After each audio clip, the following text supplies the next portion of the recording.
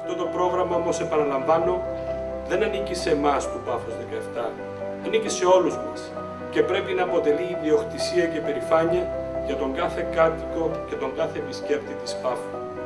Είναι το πρόγραμμα που θα μας ταξιδέψει σε μια χρονιά μοναδικής πολιτιστικής δημιουργίας και που θα μας προσφέρει μια ιστορική σημασίας εμπειρία και ανάμνηση.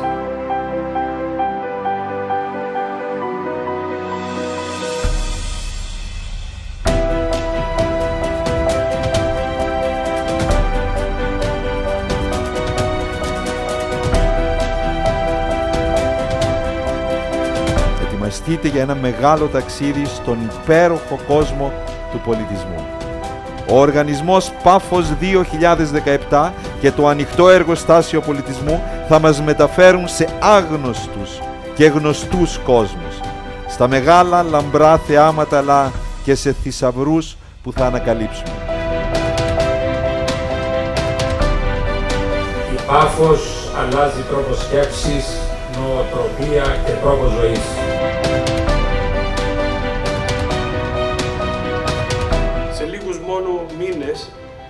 Η Πάφος αναλαμβάνει και επίσημα τον τίτλο της πολιστικής πρωτεύουσας της Ευρώπης για το 2017.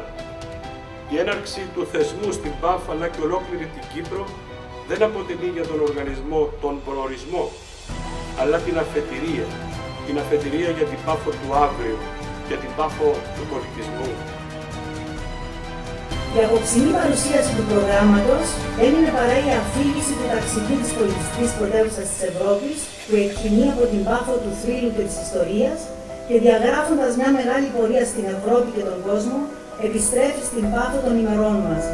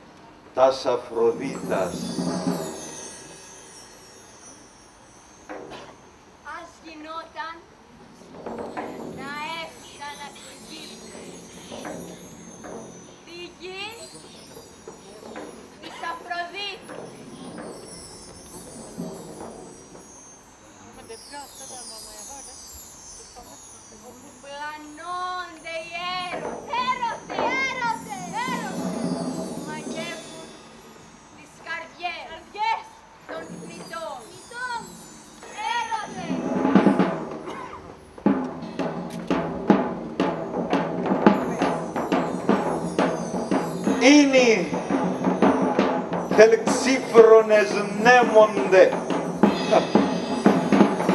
Θνατοί συνέρωτες.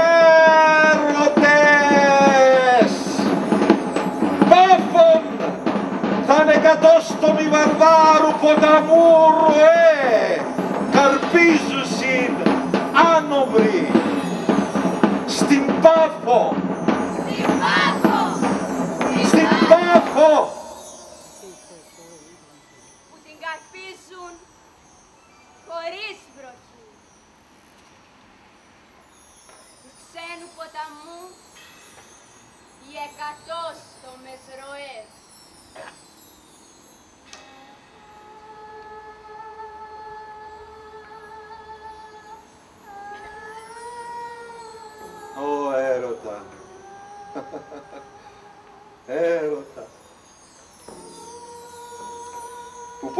Στάζει στα μάτια και γλυκιά μια χάρη μπάζεις σε εκείνον που την ψυχή που θα χτυπήσεις. Παρακαλώ σε, σε μένα μην ορμήσεις, ποτέ με το κακό συντροφιασμένος, μη δεν αρθείς βαρύς και αγριεμένος. Γιατί είναι ανώτερο από αστραποβόλη και από φωτιά της Κύπριδας το βόλι που ο έρωτας του δία το παιδί το ρίχνει από τα χέρια του με ορμή.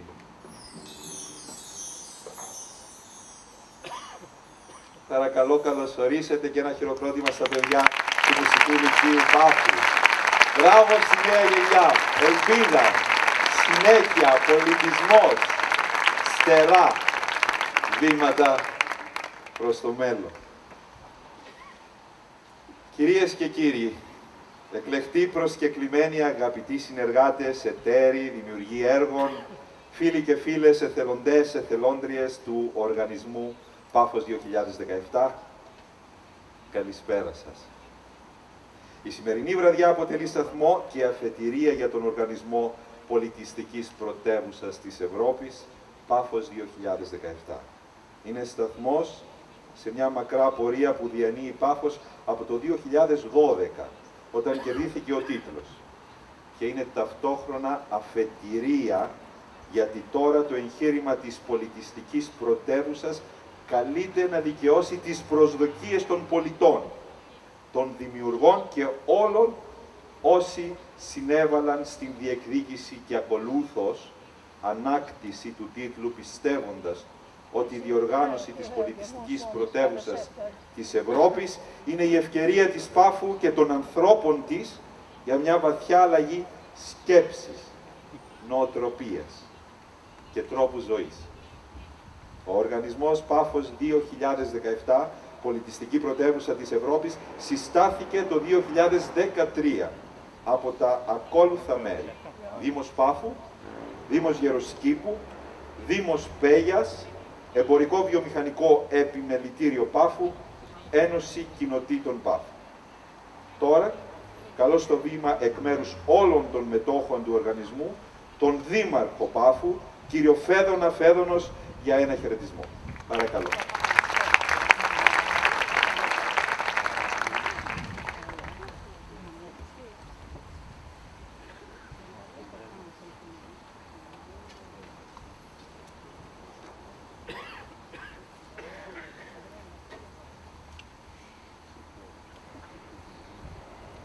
Καλησπέρα σε όλους. Η Πάφος γιορτάζει, η Πάφος αλλάζει, η Πάφος αλλάζει τρόπο σκέψης, νοοτροπία και τρόπο ζωής. Αν είναι κάτι που θα κερδίσουμε από την πολιτιστική πρωτεύουσα, από αυτό τον τίτλο, τον σημαντικό, σε πανευρωπαϊκό επίπεδο, είναι ακριβώς η αλλαγή που θα επέλθει στην κοινωνία της Πάφου. Μια αλλαγή που θα οθήσει την κοινωνία σε νέους τρόπους σκέψης, σε δημιουργία, σε πνευματική και κοινωνική αναβάθμιση. Κύριοι βουλευτές, κυρία Έπαρχος, φίλοι του Διοικητικού Συμβουλίου του ΠΑΦΟΣ 2017, φίλοι εκπρόσωποι της αστυνομίας, του εμπορικού και βιομηχανικού κόσμου της ΠΑΦΟΥ, φίλοι δημοτικοί σύμβουλοι, εκπρόσωποι κομμάτων και οργανώσεων, απλοί πολίτες της πόλης μας αλλά και της επαρχίας μας. Φίλε Δήμαρχε Γεροσκήπου, η απόψινή εκδήλωση σηματοδοτεί ταυτόχρονα ένα τέρμα και μια αφετηρία. Το τέρμα αφορά την ολιγόχρονη αλλά επίμοχθη και συναρπαστική περίοδο της διεκδίκησης του τίτλου της πολιτιστικής πρωτεύουσας, της δρομολόγησης των μεγάλων έργων υποδομής και εξοραϊσμού και της ολοκλήρωσης του καταρτισμού του προγράμματος των καλλιτεχνικών δράσεων που θα λάβουν χώρα το 2017. Η αφετηρία είναι η είσοδος στην τελική ευθεία της προετοιμασίας σε όλα τα επίπεδα που εύλογα είναι και η πιο σημαντική. Η απόφαση του Δήμου Πάφου, όπως η πόλη διεκδικήσει το χρήσμα της πρώτης κυπριακής πολιτιστικής πρωτεύουσας της Ευρώπης, δεν αποτελούσε μόνο επικύρωση της πλούσιας πολιτισμικής της κληρονομιάς, αλλά και την πιο τολμηρή και μεγαλεπίβολη απόπειρα στη νεότερη ιστορία της για μεταμόρφωση και αλλαγή. Έχοντας επίγνωση του μεγέθους και της σημασίας της πρόκλησης με την οποία ήταν αντιμέτωπη, η πόλη επιστράτευσε όλες τις δυνάμεις και τις δυνατότητές της για να την μετατρέψει σε κινητήριο άξονα μιας πορείας μεταμόρφωσης και αναγέννησης, της οποίας το 2017 δεν θα είναι παρά ένας διακεκριμένος σταθμός. Με την αποφασιστική στήριξη του κράτους σε περίοδο οικονομικής κρίσης, ο Δήμος και ο Οργανισμός Πολιτιστικής Πρωτεύουσας της Ευρώπης, ΠΑΦΟΣ 2017, σήκωσαν και σηκώνουν μαζί το βάρος της υλοποίησης ενός φιλόδοξου εγχειρήματος που διατρέχοντας τους βασικούς πυλώνες της ταυτότητας και της ζωής της πόλης επηρεάζει ήδη ολόκληρη την κοινωνία της. Πολιτισμός, δομημένο περιβάλλον, δημιουργικότητα, επιχειρηματικότητα, αηφορία, συμπλέκονται και συνεργού σε ένα εξαπλούμενο πνεύμα και κλίμα ανανέωσης, αισιοδοξίας και αυτοπεποίθησης που οι κάτοικοι της πόλης το έχουν μεγάλη ανάγκη. Μάρτυρας αυτής της συντελούμενης μεταμόρφωσης είναι τα εκτελούμενα έργα υποδομής και εξοραϊσμού που σφραγίζουν την έναρξη μιας νέας εποχής για την πόλη. Θεωρώ πολύ σημαντικό το γεγονός ότι η στρατηγική επιλογή και επιδίωξη του Δήμου Πάφου ήταν όπως η διεκδίκηση του τίτλου της πολιτιστικής πρωτεύουσας της Ευρώπης για το 2017 αποτελέσει συλλογική υπόθεση των οργανωμένων συνόλων και των πολιτών της επαρχίας μας. Αυτή η επιλογή και βούληση αντανακλάται στη σύνθεση του Οργανισμού Πολιτιστικής Πρωτεύουσας της Ευρώπης, Πάφος 2017, στον οποίο συμμετέχουν εκτός από τον Δήμο Πάφου, η Δήμη Γεροσκήπου και Πέγιας, η Ένωση Κοινοτήτων Επαρχίας Πάφου και το Εμπορικό και Βιομηχανικό Επιμελητήριο Πάφου. Το πρόγραμμα που παρουσιάζεται απόψε συμπυκνώνει τις δράσεις που θα λάβουν χώρα κατά το 2017 στην επαρχία Πάφου υπό τον τίτλο της πολιτιστικής πρωτεύουσας της Ευρώπης. βασισμένος στην κεντρική ιδέα του ανοιχτού εργοστασίου πολιτισμού, Open Air Factory, αποτελεί μια αντάξια της φήμης και του κύρους του θεσμού ενότητας των δράσεων και εκδηλώσεων, σχεδιασμένη για να ενδυναμώσει την πεποίθηση ότι οι τέχνες και ο πολιτισμός ευρύτερα αποτελούν ισχυρό δεσμό των πολιτών της Ευρωπαϊκής Ένωσης. Από το βήμα αυτό θέλω να εκφράσω τα θερμά συγχαρητήρια μου προς τον Πρόεδρο, τον φίλο Χρήστο Πατσαλίδη και τα μέλη του Διοικητικού Συμβουλίου και να μου επιτραπεί να τα αναφέρω ονομαστικά τον Γιώργο τον Γεωργιάδη, τον Σάββατο Γεωργιάδη, τον Σίμω τον Τσέλεπο, τον κύριο Κουτσόλαμπρο, τον κύριο Χατζηθωμά, τον κύριο Παυλίδη, τον κύριο Ρογύρο Αναστάση, νομίζω τους έχω αναφέρει όλους, και βεβαίως να κάνω μια αναφορά και στα δύο μέλη που για δικούς τους λόγους απεχώρησαν λόγω προσωπικών υποχρεώσεων, τον κύριο Νίκο Ράφτη και τον κύριο Ανδρέα Πετρίδη. Θερμά συγχαρητήρια. Η συνεργασία μας ήταν άψογη. Αφήσαμε ανενόχλητο το Διοικητικό Συμβούλιο και πραγματικά χαιρόμαστε γιατί το Διοικητικό Συμβούλιο με ελάχιστους πόρους, με ελάχιστο ανθρώπινο δυναμικό και θέλω έτσι εδώ να συγχαρώ και τα 13 αντιλαμβάνομαι έμιστα στελέχη, τα οποία το 8ωρο είναι έμιστα στελέχη, αλλά τις υπόλοιπες 8 ώρες, γιατί περίπου εργάζονται 15 με 16 ώρες, είναι εθελοντές. Είναι και έμιστοι και εθελοντές. Και περίπου 400 εθελοντές και χαίρομαι ιδιαίτερα που είδα να αναγράφονται τα ονόματά τους στην, στον κατάλογο, στο πρόγραμμα, ως ελάχιστη ένδειξη αναγνώρισης του τι προσφέρουν οι εθελοντές.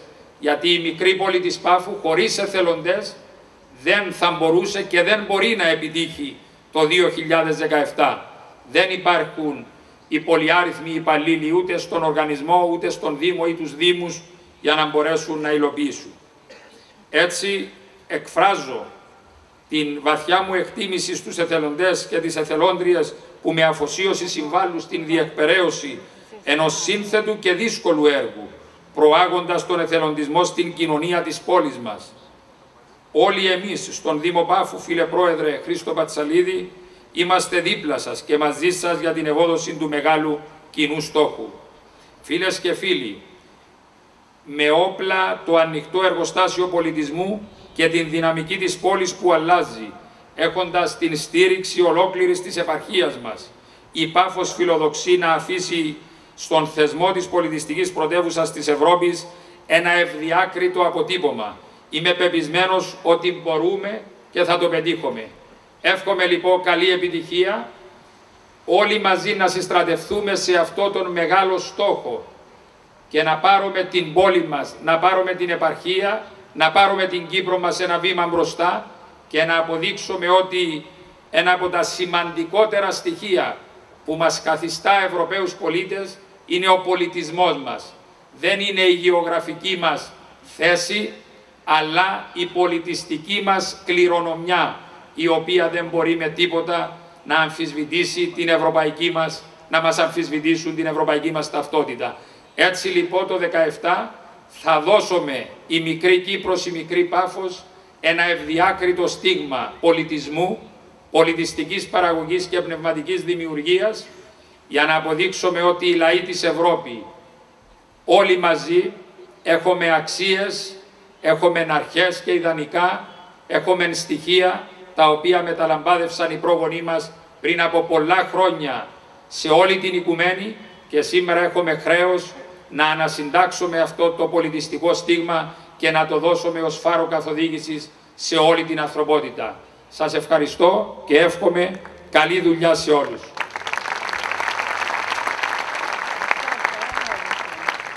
Ευχαριστούμε τον Δήμαρχο της Πάφου, της πόλης που κατέθεσε το φάκελο διεκδίκησης και χάρισε έτσι αυτή την κορυφαία καταξίωση στην Πάφο και στους ανθρώπους της. Σήμερα μπορούμε να πούμε δυνατά, σήμερα μπορούμε να ομολογήσουμε ότι στη δίνη των γεγονότων της οικονομικής καταστροφής το 2013, η Πάφος κινδύνευσε ακόμα και να χάσει τον περιπόθητο τίτλο. Με σωστές ενέργειες και σειρά διαβημάτων στο εσωτερικό αλλά και στο εξωτερικό, ο οργανισμός Πάφος 2017 που ανάλαβε τη διοργάνωση του σημαντικότατου αυτού ευρωπαϊκού θεσμού πέτυχε να ξεπεράσει όλα τα εμπόδια.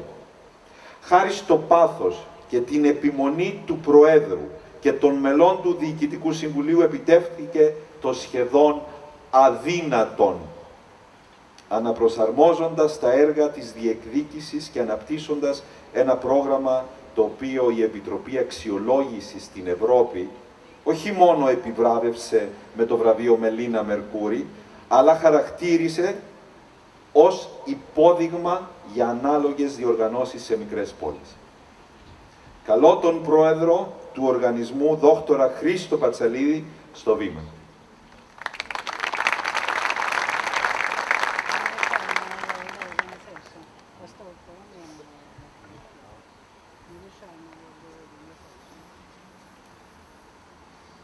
Καλησπέρα. Καλησπέρα σε όλους.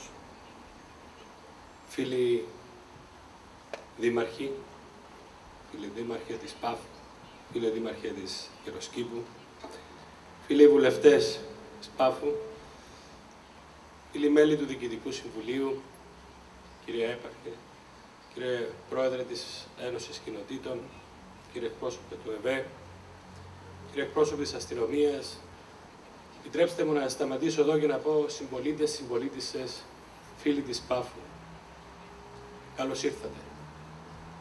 Καλώς ήρθατε στο σπίτι της πολιτιστικής πρωτεύουσας της Ευρώπης για το 2017. Καλώς ήρθατε στο χώρο αυτό όπου τα τελευταία τρία χρόνια γίνεται μια πολύ σημαντική δουλειά. Φίλες και φίλοι, είναι με μεγάλη χαρά που σας καλωσορίζω όλους στην έδρα της πολιτιστικής πρωτεύουσας της Ευρώπης για το 2017.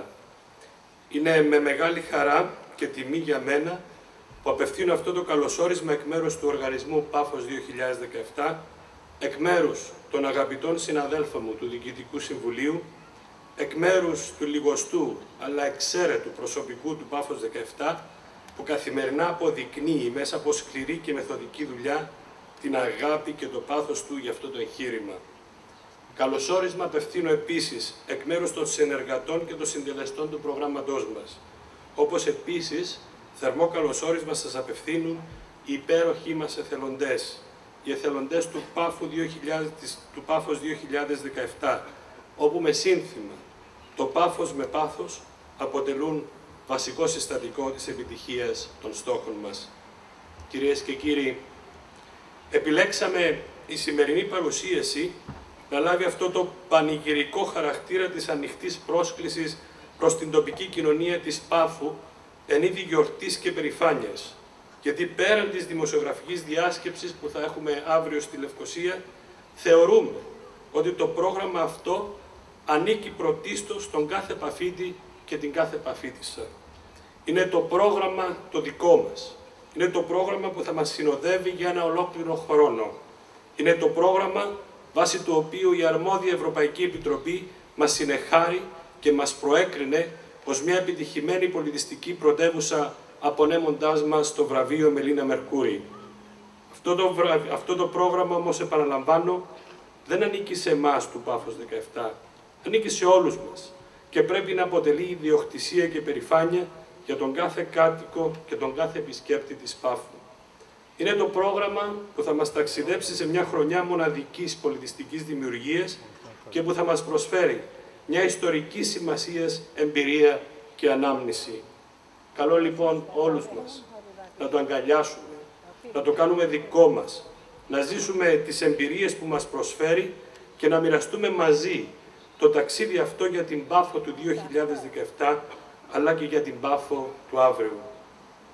Φίλε Δήμαρχε, φίλοι Δημάρχοι, φίλοι βουλευτές, αγαπητοί συνεργάτες, αγαπητοί συμπολίτες, σε λίγους μόνο μήνες η Πάφος αναλαμβάνει και επίσημα τον τίτλο της πολιστικής πρωτεύουσας της Ευρώπης για το 2017.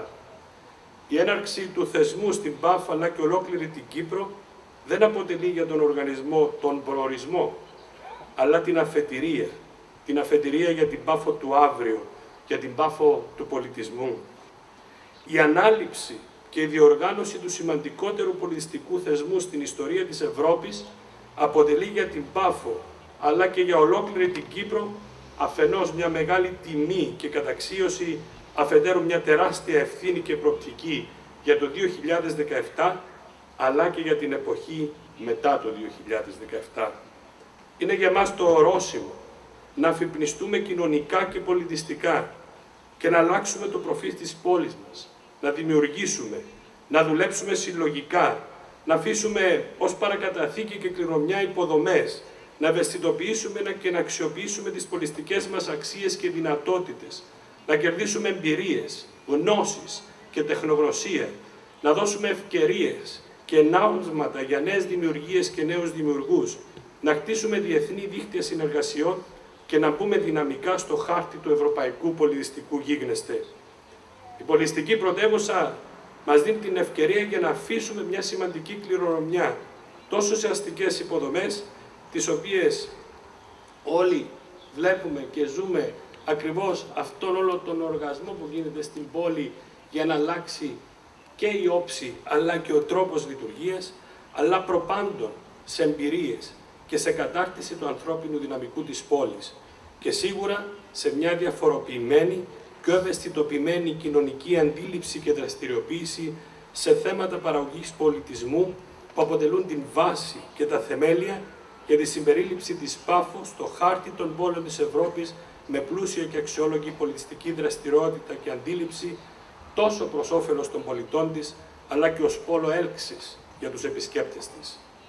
Το πρόγραμμα το οποίο δημιουργήσαμε μέσα από τα 152 project της πέραν των 300 δράσεων και με τη συμμετοχή αγαπητοί φίλοι των πέρα των 1.200 δημιουργών και καλλιτεχνών από την Κύπρο και την Ευρώπη στοχεύει ακριβώς στη δημιουργία των γερών θεμελίων για την πάφο του πολιτισμού και για την πάφο του αύριου. Το έχω πει πολλές φορές και θα το πω και απόψε, ότι ο θεσμός της πολιτιστικής πρωτεύουσας της Ευρώπης δεν αποτελεί ένα φεστιβάλ, αλλά κάτι πολύ πιο βαθιά φιλοσοφημένο και στοχευμένο χωρίς να αποσκοπεί απλά στη λαϊκή τεύση και δημοφιλία του υπάρχοντος καλλιτεχνικού Star System. Έτσι λοιπόν το πρόγραμμα μας σχεδιάστηκε με στόχο να συμπεριλαμβάνει δράσεις που πέρα των εκδηλώσεων και του θεάματος προσφέρουν στο χτίσιμο και τον εξοραϊσμό του προσώπου της πόλης μας, αλλά και στην απόκτηση της απαραίτητης τεχνογνωσίας, της γνώσης, των εμπειριών για τη συνέχιση και βελτίωση του νέου πολιτιστικού προσώπου που θέλουμε να πετύχουμε για την πόλη μας. Φίλες και φίλοι, για την Πάφο, η ανάληψη της διοργάνωσης του θεσμού το 2012 αποτέλεσε, όπως σωστά αναφέρθηκε ο Δήμαρχος, μια αναγνώριση, όχι για τα όσα η Πάφος κληρονόμησε και διέθετε μέχρι τότε, αλλά κυρίως για τα όσα η Πάφος μπορούσε να δημιουργήσει και να πετύχει για το αύριο. Αυτό ήταν και το κύριο στοιχείο αξιολόγησης του προγράμματός μας από την αρμόδια Ευρωπαϊκή Επιτροπή σε όλες τις αιτήσει αξιολογήσεις του οργανισμού κατά τα τελευταία τρία χρόνια. Το 2012 λοιπόν κερδίσαμε το χρήσμα της πολιστικής πρωτεύουσα της Ευρώπης χάρη στη φιλοσοφία και το πρόγραμμα με τίτλο «Ανοιχτό εργοστάσιο πολιτισμού». Η φιλοσοφία του ανοιχτού εργοστασίου πολιτισμού εδράζεται πρωτίστως στη χιλιετή παράδοση της παραγωγής του πολιτισμού στην πόλη μας σε χώρους ανοιχτούς. Παράλληλα όμως, η έννοια του ανοιχτού υπήρξε στοιχείο αναπόσπαστα συνδεδεμένο με την Πάφα από την αρχή της ιστορίας της. Το αποδεικνύουν οι μυθολογικές αφηγήσεις και οι θρησκευτικές τελετουργίες, μέχρι τα έργα τέχνης και οι φιλοσοφικές και ιδεολογικές περιπέτειες του ανθρώπινου πνεύματος στον τόπο αυτό. Χρησιμοποιώντας λοιπόν την έννοια του ανοιχτού ως κύρια φιλοσοφία στο πρόγραμμα το οποίο παρουσιάζουμε απόψε, δεν, δεν περιοριζόμαστε μόνο στη χωροταξική του ερμηνεία, αλλά το αναπτύσσουμε και ως φιλοσοφία στη στάση μας προς την αποδεκτικότητα του νέου και του διαφορετικού, την συνύπαρξη, την κοινωνική συνοχή, το άνοιγμα στην κοινωνία και την καθολική εμπλοκή των πολιτών.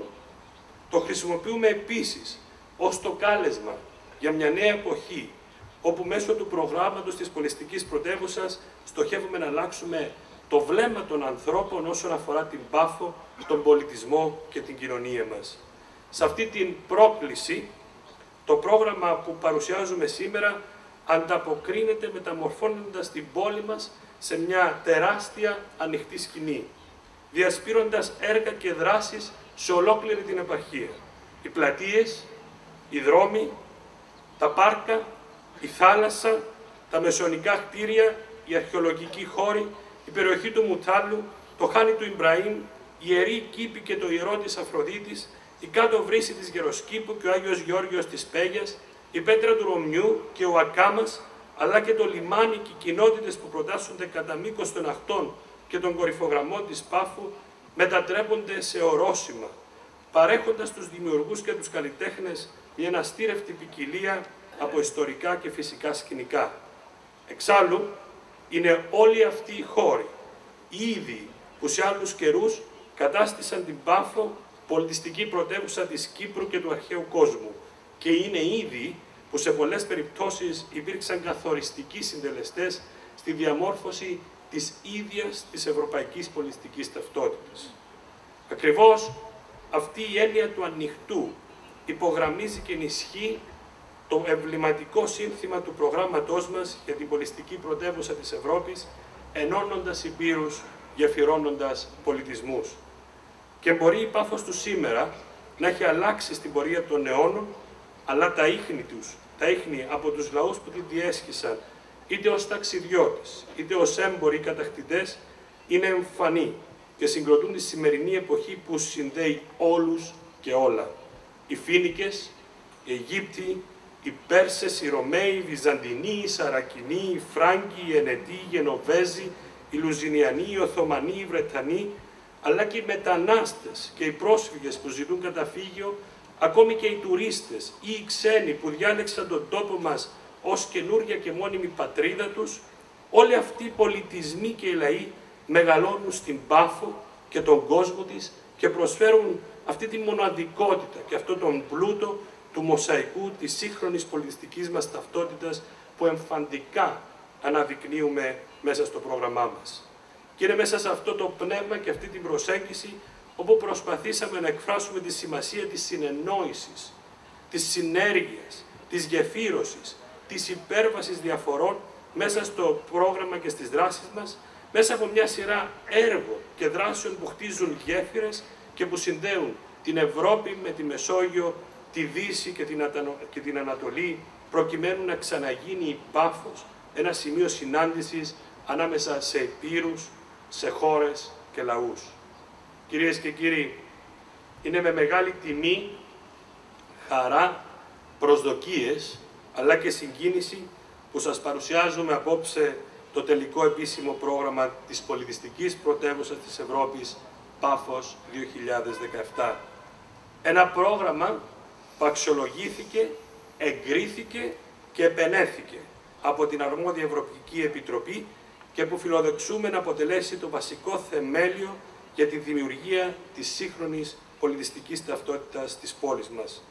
Ένα πρόγραμμα δράσεων, δημιουργίας και εκδηλώσεων που όπως δήλωσε ο διεθνούς φήμης Έλληνας σκηνοθέτης, συνεργάτης μας, ο Θεόδωρος Τεζόπουλος, κατατάσσει επάξια την Πάφο στην σύγχρονη, στο σύγχρονο πολιτιστικό χάρτη της Ευρώπης.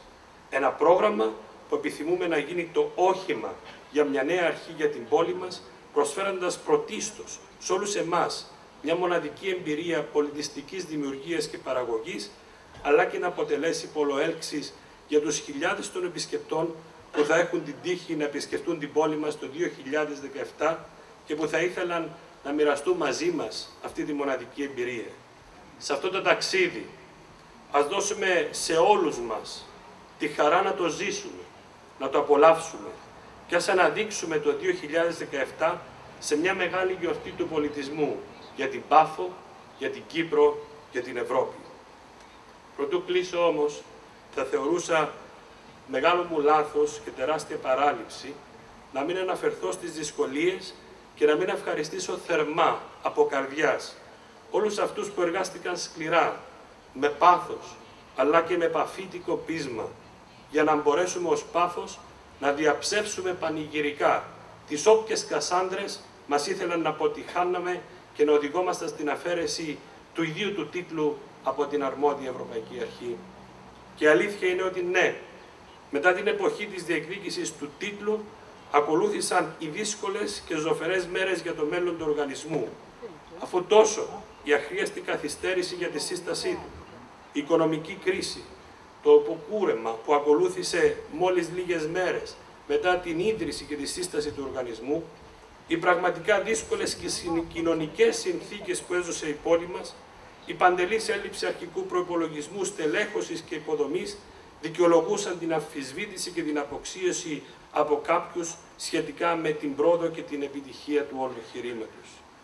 Ο αρχικός ενθουσιασμός από την διεκδίκηση του τίτλου εξανεμίστηκε, όπως μαζί και πολλές ψεύτικες προσδοκίες που καλλιεργήθηκαν θέτοντας άπιαστα όνεια, όνειρα και παρεμηνεύοντας τις πραγματικές διαστάσεις των στόχων, των ωφελημάτων, αλλά και της πραγματικής αξίας που θέτει ο θεσμός της πολιτιστικής πρωτεύουσας.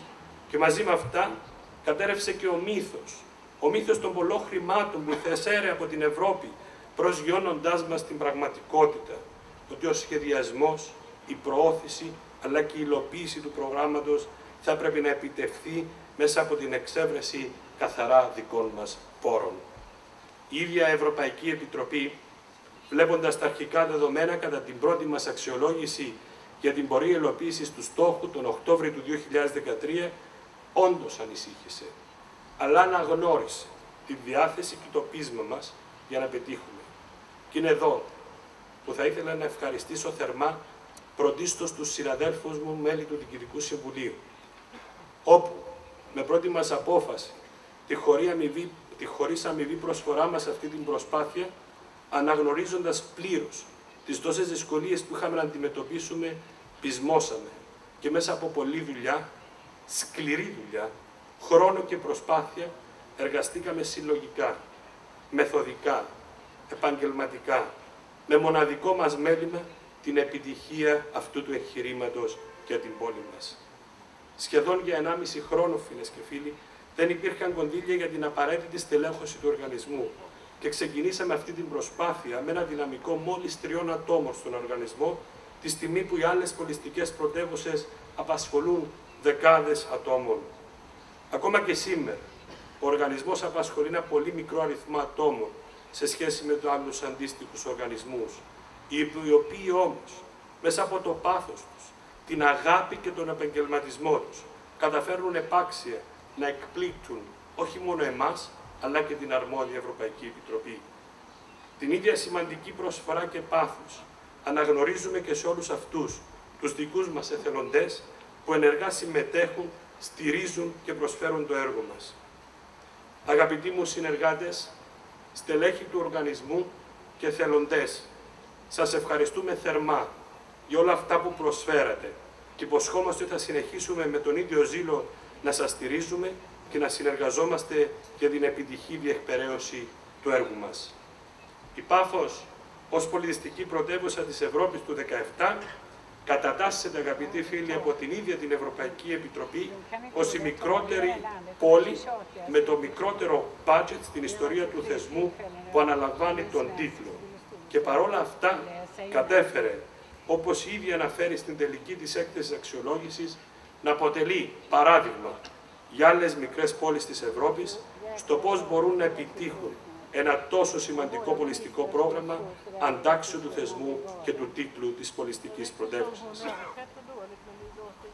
Καταφέραμε να μειώσουμε το αρχικό προπολογιστέν κόστος από 22 εκατομμύρια στα 8 χωρίς να λιώσουμε ουσιαστικά την αρχική μας πρόταση βάσει της οποίας κερδίσαμε τον τίτλο, αλλά αντιθέτως, μέσα σε αυτό το πρόγραμμα που θα αποκαλύψουμε σήμερα, το αναπτύξαμε και προσθέσαμε την πληθώρα αυτή των νέων δράσεων και έργων. Και όλα αυτά είναι, όπως είπα, το αποτέλεσμα μιας συλλογικής δουλειάς και προσπάθειας.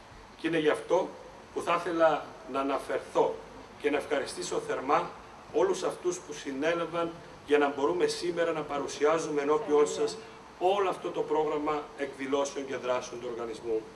Χρονολογικά, οφείλουμε να συγχαρούμε αρχικά την καλλιτεχνική ομάδα, αλλά και τους τόσους εθελοντές που είχαν εμπλακεί τότε, κατά την περίοδο της διεκδίκησης και που εμπνεύστηκαν και σχεδίασαν την αρχική πρόταση βάσει της οποίας κερδίθηκε ο τίτλος.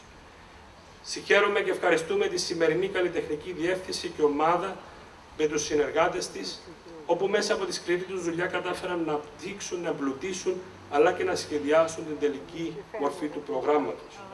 Ευχαριστούμε θερμά τους φίλους δημάρχους, τα δημοτικά συμβούλια και το προσωπικό των μετόχων δήμων μας, τον Δήμαρχο και τον Δήμο Πάφου, τον Δήμαρχο και τον Δήμο Γεροσκήπου, τον Δήμαρχο και τον Δήμο Πέγιας, όπως επίσης και τους υπόλοιπους μετόχους μας, την Ένωση Κοινοτήτων Πάφου και το Εμπορικό και Βιομηχανικό Επιμελητήριο Πάφου για την άριστη συνεργασία, εμπιστοσύνη και συμπόρευση. Ευχαριστίες για τη σημαντική συμβολή τους για την επιτυχία του στόχου μας, οφείλουμε να εκφράσουμε προς τον ίδιο τον πρόεδρο της Κυπριακής Δημοκρατίας και την κυβέρνησή του, που έθεσε το όλο εγχείρημα ως μια εθνική υπόθεση.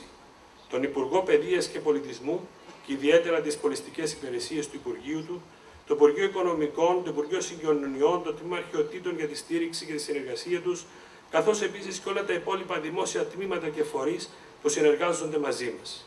Ιδιαίτερη αναφορά και ευχαριστίες οφείλω να εκφράσω προς όλους τους θεσμικούς μας συνεργάτες, τουριστικούς φορείς και θεσμούς, μέσα μαζικής ενημέρωσης και δημοσιογράφους, πολιτιστικές οργανώσεις και πολιτιστικούς φορείς, τις ξένες πρεσβείες που συμμετέχουν στο πρόγραμμά μας και σίγουρα τους επίσημους χορηγούς μας, που χωρίς τη δική τους στήριξη δεν θα μπορούσαμε να έχουμε αυτό το αποτέλεσμα. Ευχαριστούμε όλους αυτούς τους καλλιτέχνες και δημιουργούς που συμμετέχουν στο πρόγραμμά μας και πάνω απ' όλα ευχαριστούμε εσάς, τον κόσμο της Πάφου που μας ακολουθεί και μας στηρίζει. Φίλες και φίλοι, το ταξίδι της πολιστικής πρωτεύουσας της Ευρώπης Πάφος 2017 ξεκινά και μαζί όλοι, συνοδοιπόροι, ας απολαύσουμε την εμπειρία και το ωφέλη της. Με πάθος, αλλά και με περηφάνεια, ας συμπορευτούμε για μια νέα Πάφο. Ευχαριστώ. Ευχαριστούμε τον Πρόεδρο του Οργανισμού Πάφος 2017 για τα όσα σημαντικά είπε για το ανοιχτό εργοστάσιο πολιτισμού, τη φιλοσοφία και το σύνθημά του. Πρόεδρε, σας ευχαριστούμε. Απόψε παρουσιάζουμε το πρόγραμμα της πολιτιστικής πρωτεύουσας της Ευρώπης για το 2017. Απόψε παρουσιάζουμε όλα αυτά που σχεδιάστηκαν, προγραμματίστηκαν και μέρη ήδη υλοποιούνται από τον Οργανισμό Πάφος 2017 για την χρονιά της πολιτιστικής πρωτεύουσας της Ευρώπης φιλοδοξώντας να αλλάξουν την Πάφο. Κυρίως τον τρόπο που βλέπει ο κόσμος την Πάφο, αλλά επίσης και τον τρόπο που η Πάφος και οι άνθρωποι της βλέπουν τον κόσμο. Ο Οργανισμός Πάφος 2017 συγκρότησε το πρόγραμμα της πολιτιστικής πρωτεύουσας με όρους, θα λέγαμε σχεδόν, ναυσιπλοϊχίας. Οι θεματικές ενότητες και τα κεφάλαιά τους, καθώς και τα ίδια του τα έργα, μοιάζουν με το χάρτη ενός χαμένου αλλά υπαρκτού θησαυρού, στον εντοπισμό και την κατάκτηση του οποίου προσκαλούνται όλοι, όλοι ανεξαιρέτως, οι κάτοικοι και οι επισκέπτες της πόλης. Κυρίες και κύριοι, ετοιμαστείτε για ένα μεγάλο ταξίδι στον υπέροχο κόσμο του πολιτισμού. Ο Οργανισμός Πάφος 2017 και το ανοιχτό εργοστάσιο πολιτισμού θα μας μεταφέρουν σε άγνωστους και γνωστούς κόσμους, στα μεγάλα λαμπρά θεάματα αλλά και σε θησαυρούς που θα ανακαλύψουμε. Προσκαλώ την Διευθύντρια του Καλλιτεχνικού Προγράμματος του Οργανισμού να μας παρουσιάσει τη διαδρομή αυτή του προγράμματος της πολιτιστικής πρωτεύουσας της Ευρώπης.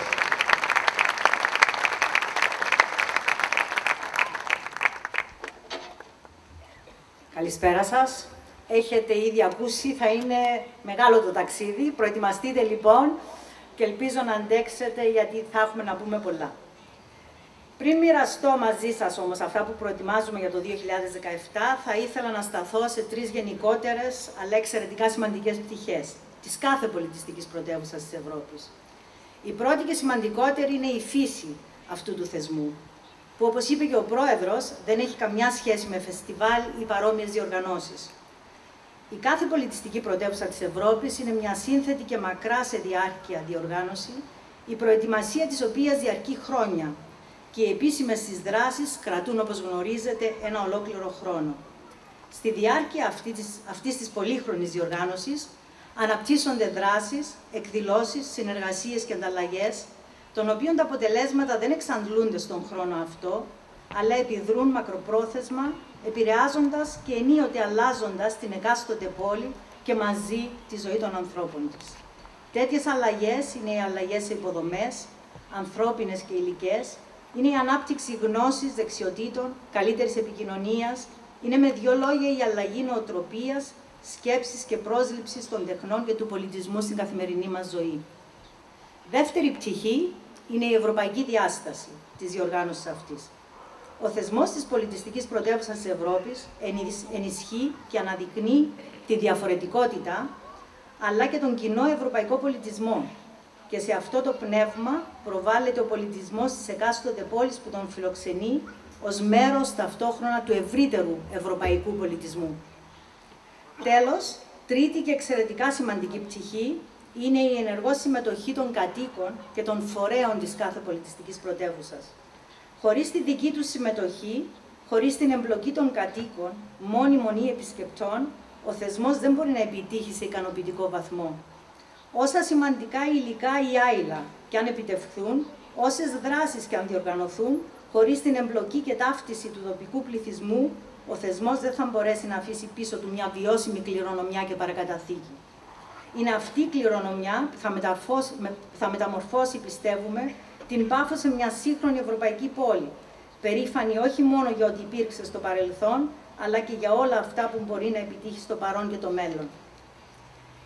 Η απόψινή παρουσίαση του προγράμματος δεν είναι παρά η αφήγηση του ταξιδιού της πολιτιστικής πρωτεύουσας της Ευρώπης, που εκκινεί από την πάφο του θρύλου και της ιστορίας και διαγράφοντας μια μεγάλη πορεία στην Ευρώπη και τον κόσμο, επιστρέφει στην πάφο των ημερών μας για να ανταποκριθεί στις προκλήσεις του αύριο. Ακολουθώντας τα χνάρια των ανθρώπων και των ταξιδευτών που είτε πέρασαν από τον τόπο μας, είτε ρίζωσαν εδώ και έγιναν μόνιμοι κάτοικοι του, το πρόγραμμα του Ανοιχτού Εργοστασίου Πολιτισμού δεν αφηγείται τίποτα λιγότερο από ένα ταξίδι στο παρελθόν, το παρόν και το μέλλον του τόπου και των ανθρώπων του.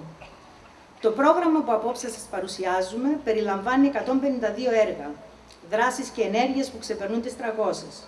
Το 2017 η Πάφος και βεβαίως η Κύπρος όλη θα υποδεχτεί περισσότερο από 1.200 καλλιτέχνες και δημιουργούς από την Κύπρο και το εξωτερικό.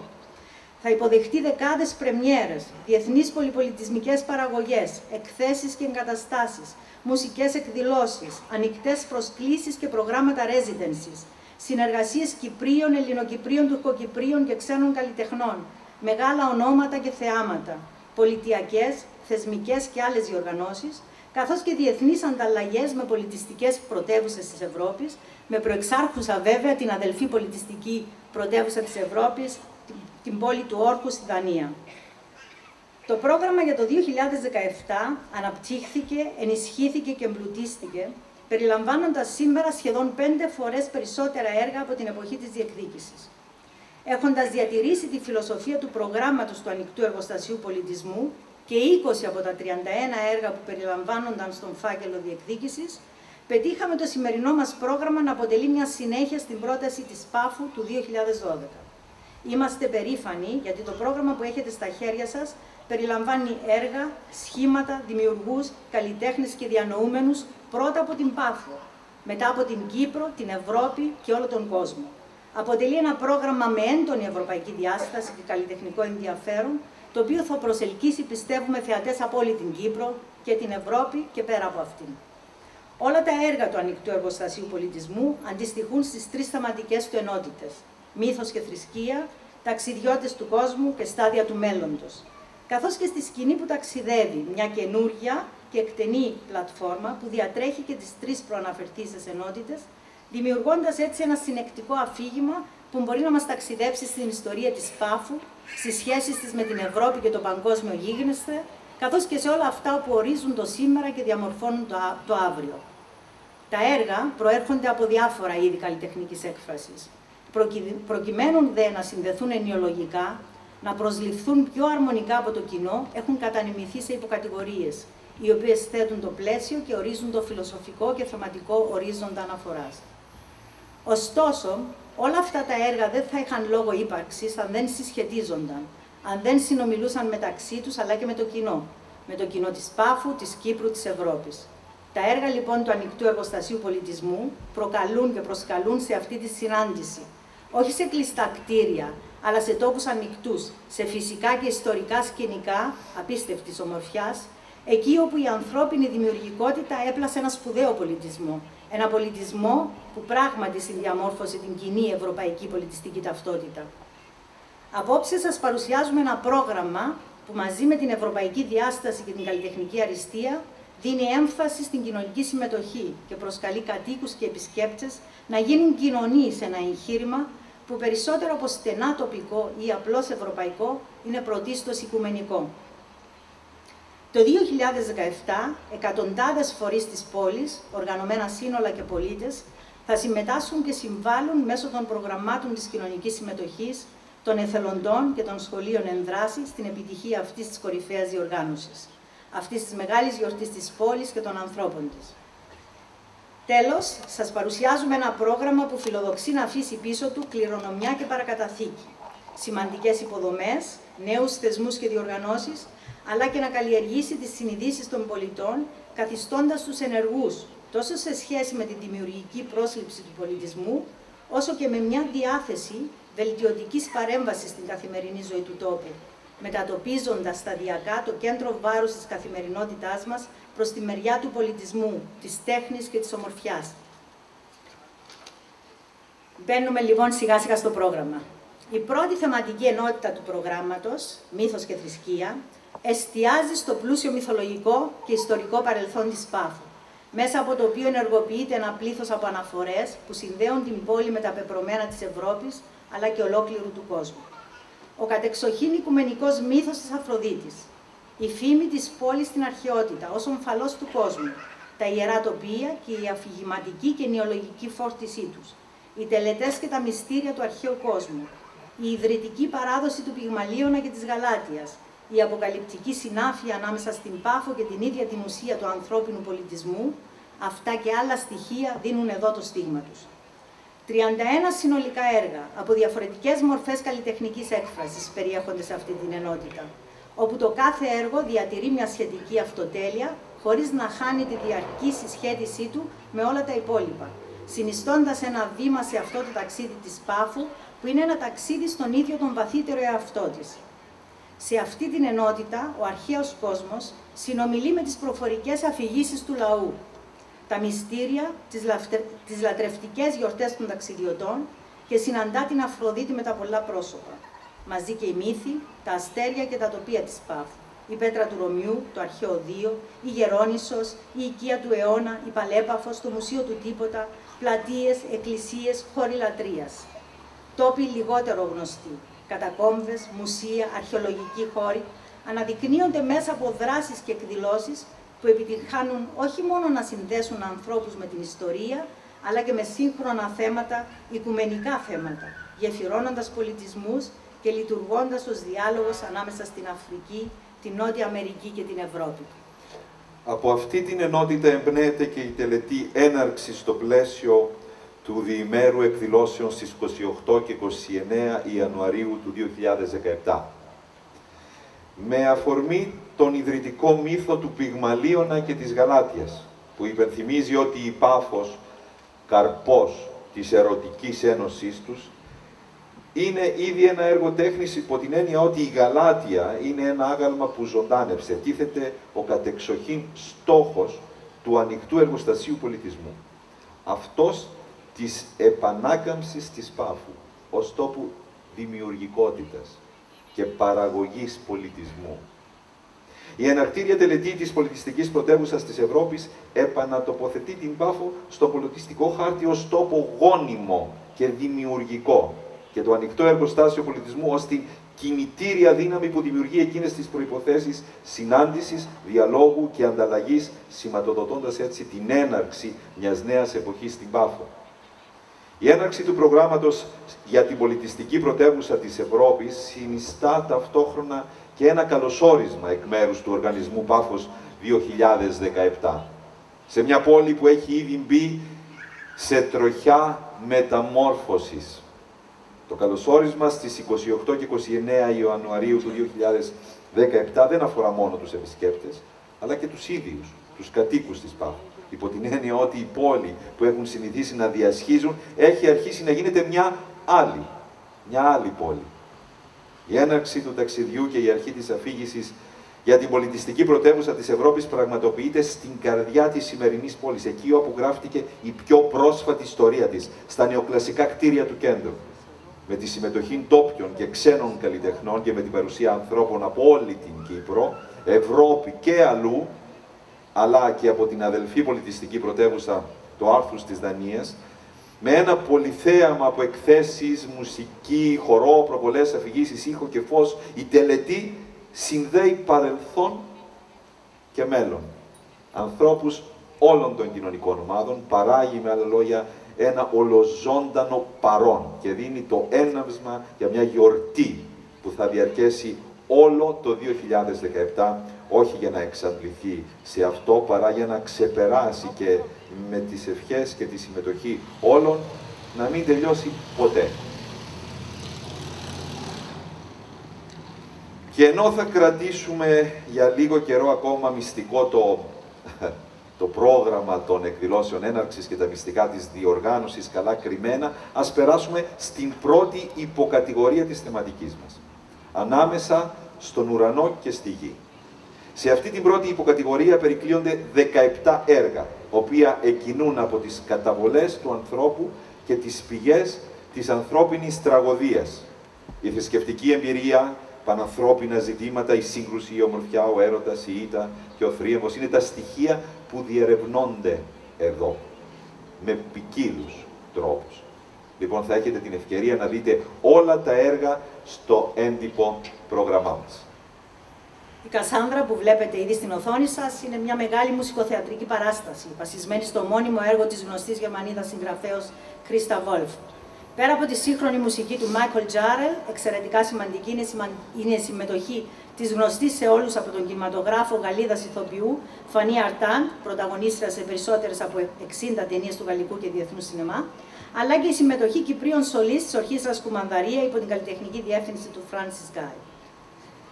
Μπορεί επίσημα να μην έχει γίνει ακόμη η παρουσίαση του έργου Σημάδια στον χρόνο και χώρο, Όμως οι κάτοικοι και επισκέπτες της Πάφου έχουν ήδη γίνει μάρτυρες μιας μεγάλης αλλαγής, αφού οι καλλιτέχνες έχουν ήδη τοποθετήσει τα έργα τους σε δημόσιους χώρους.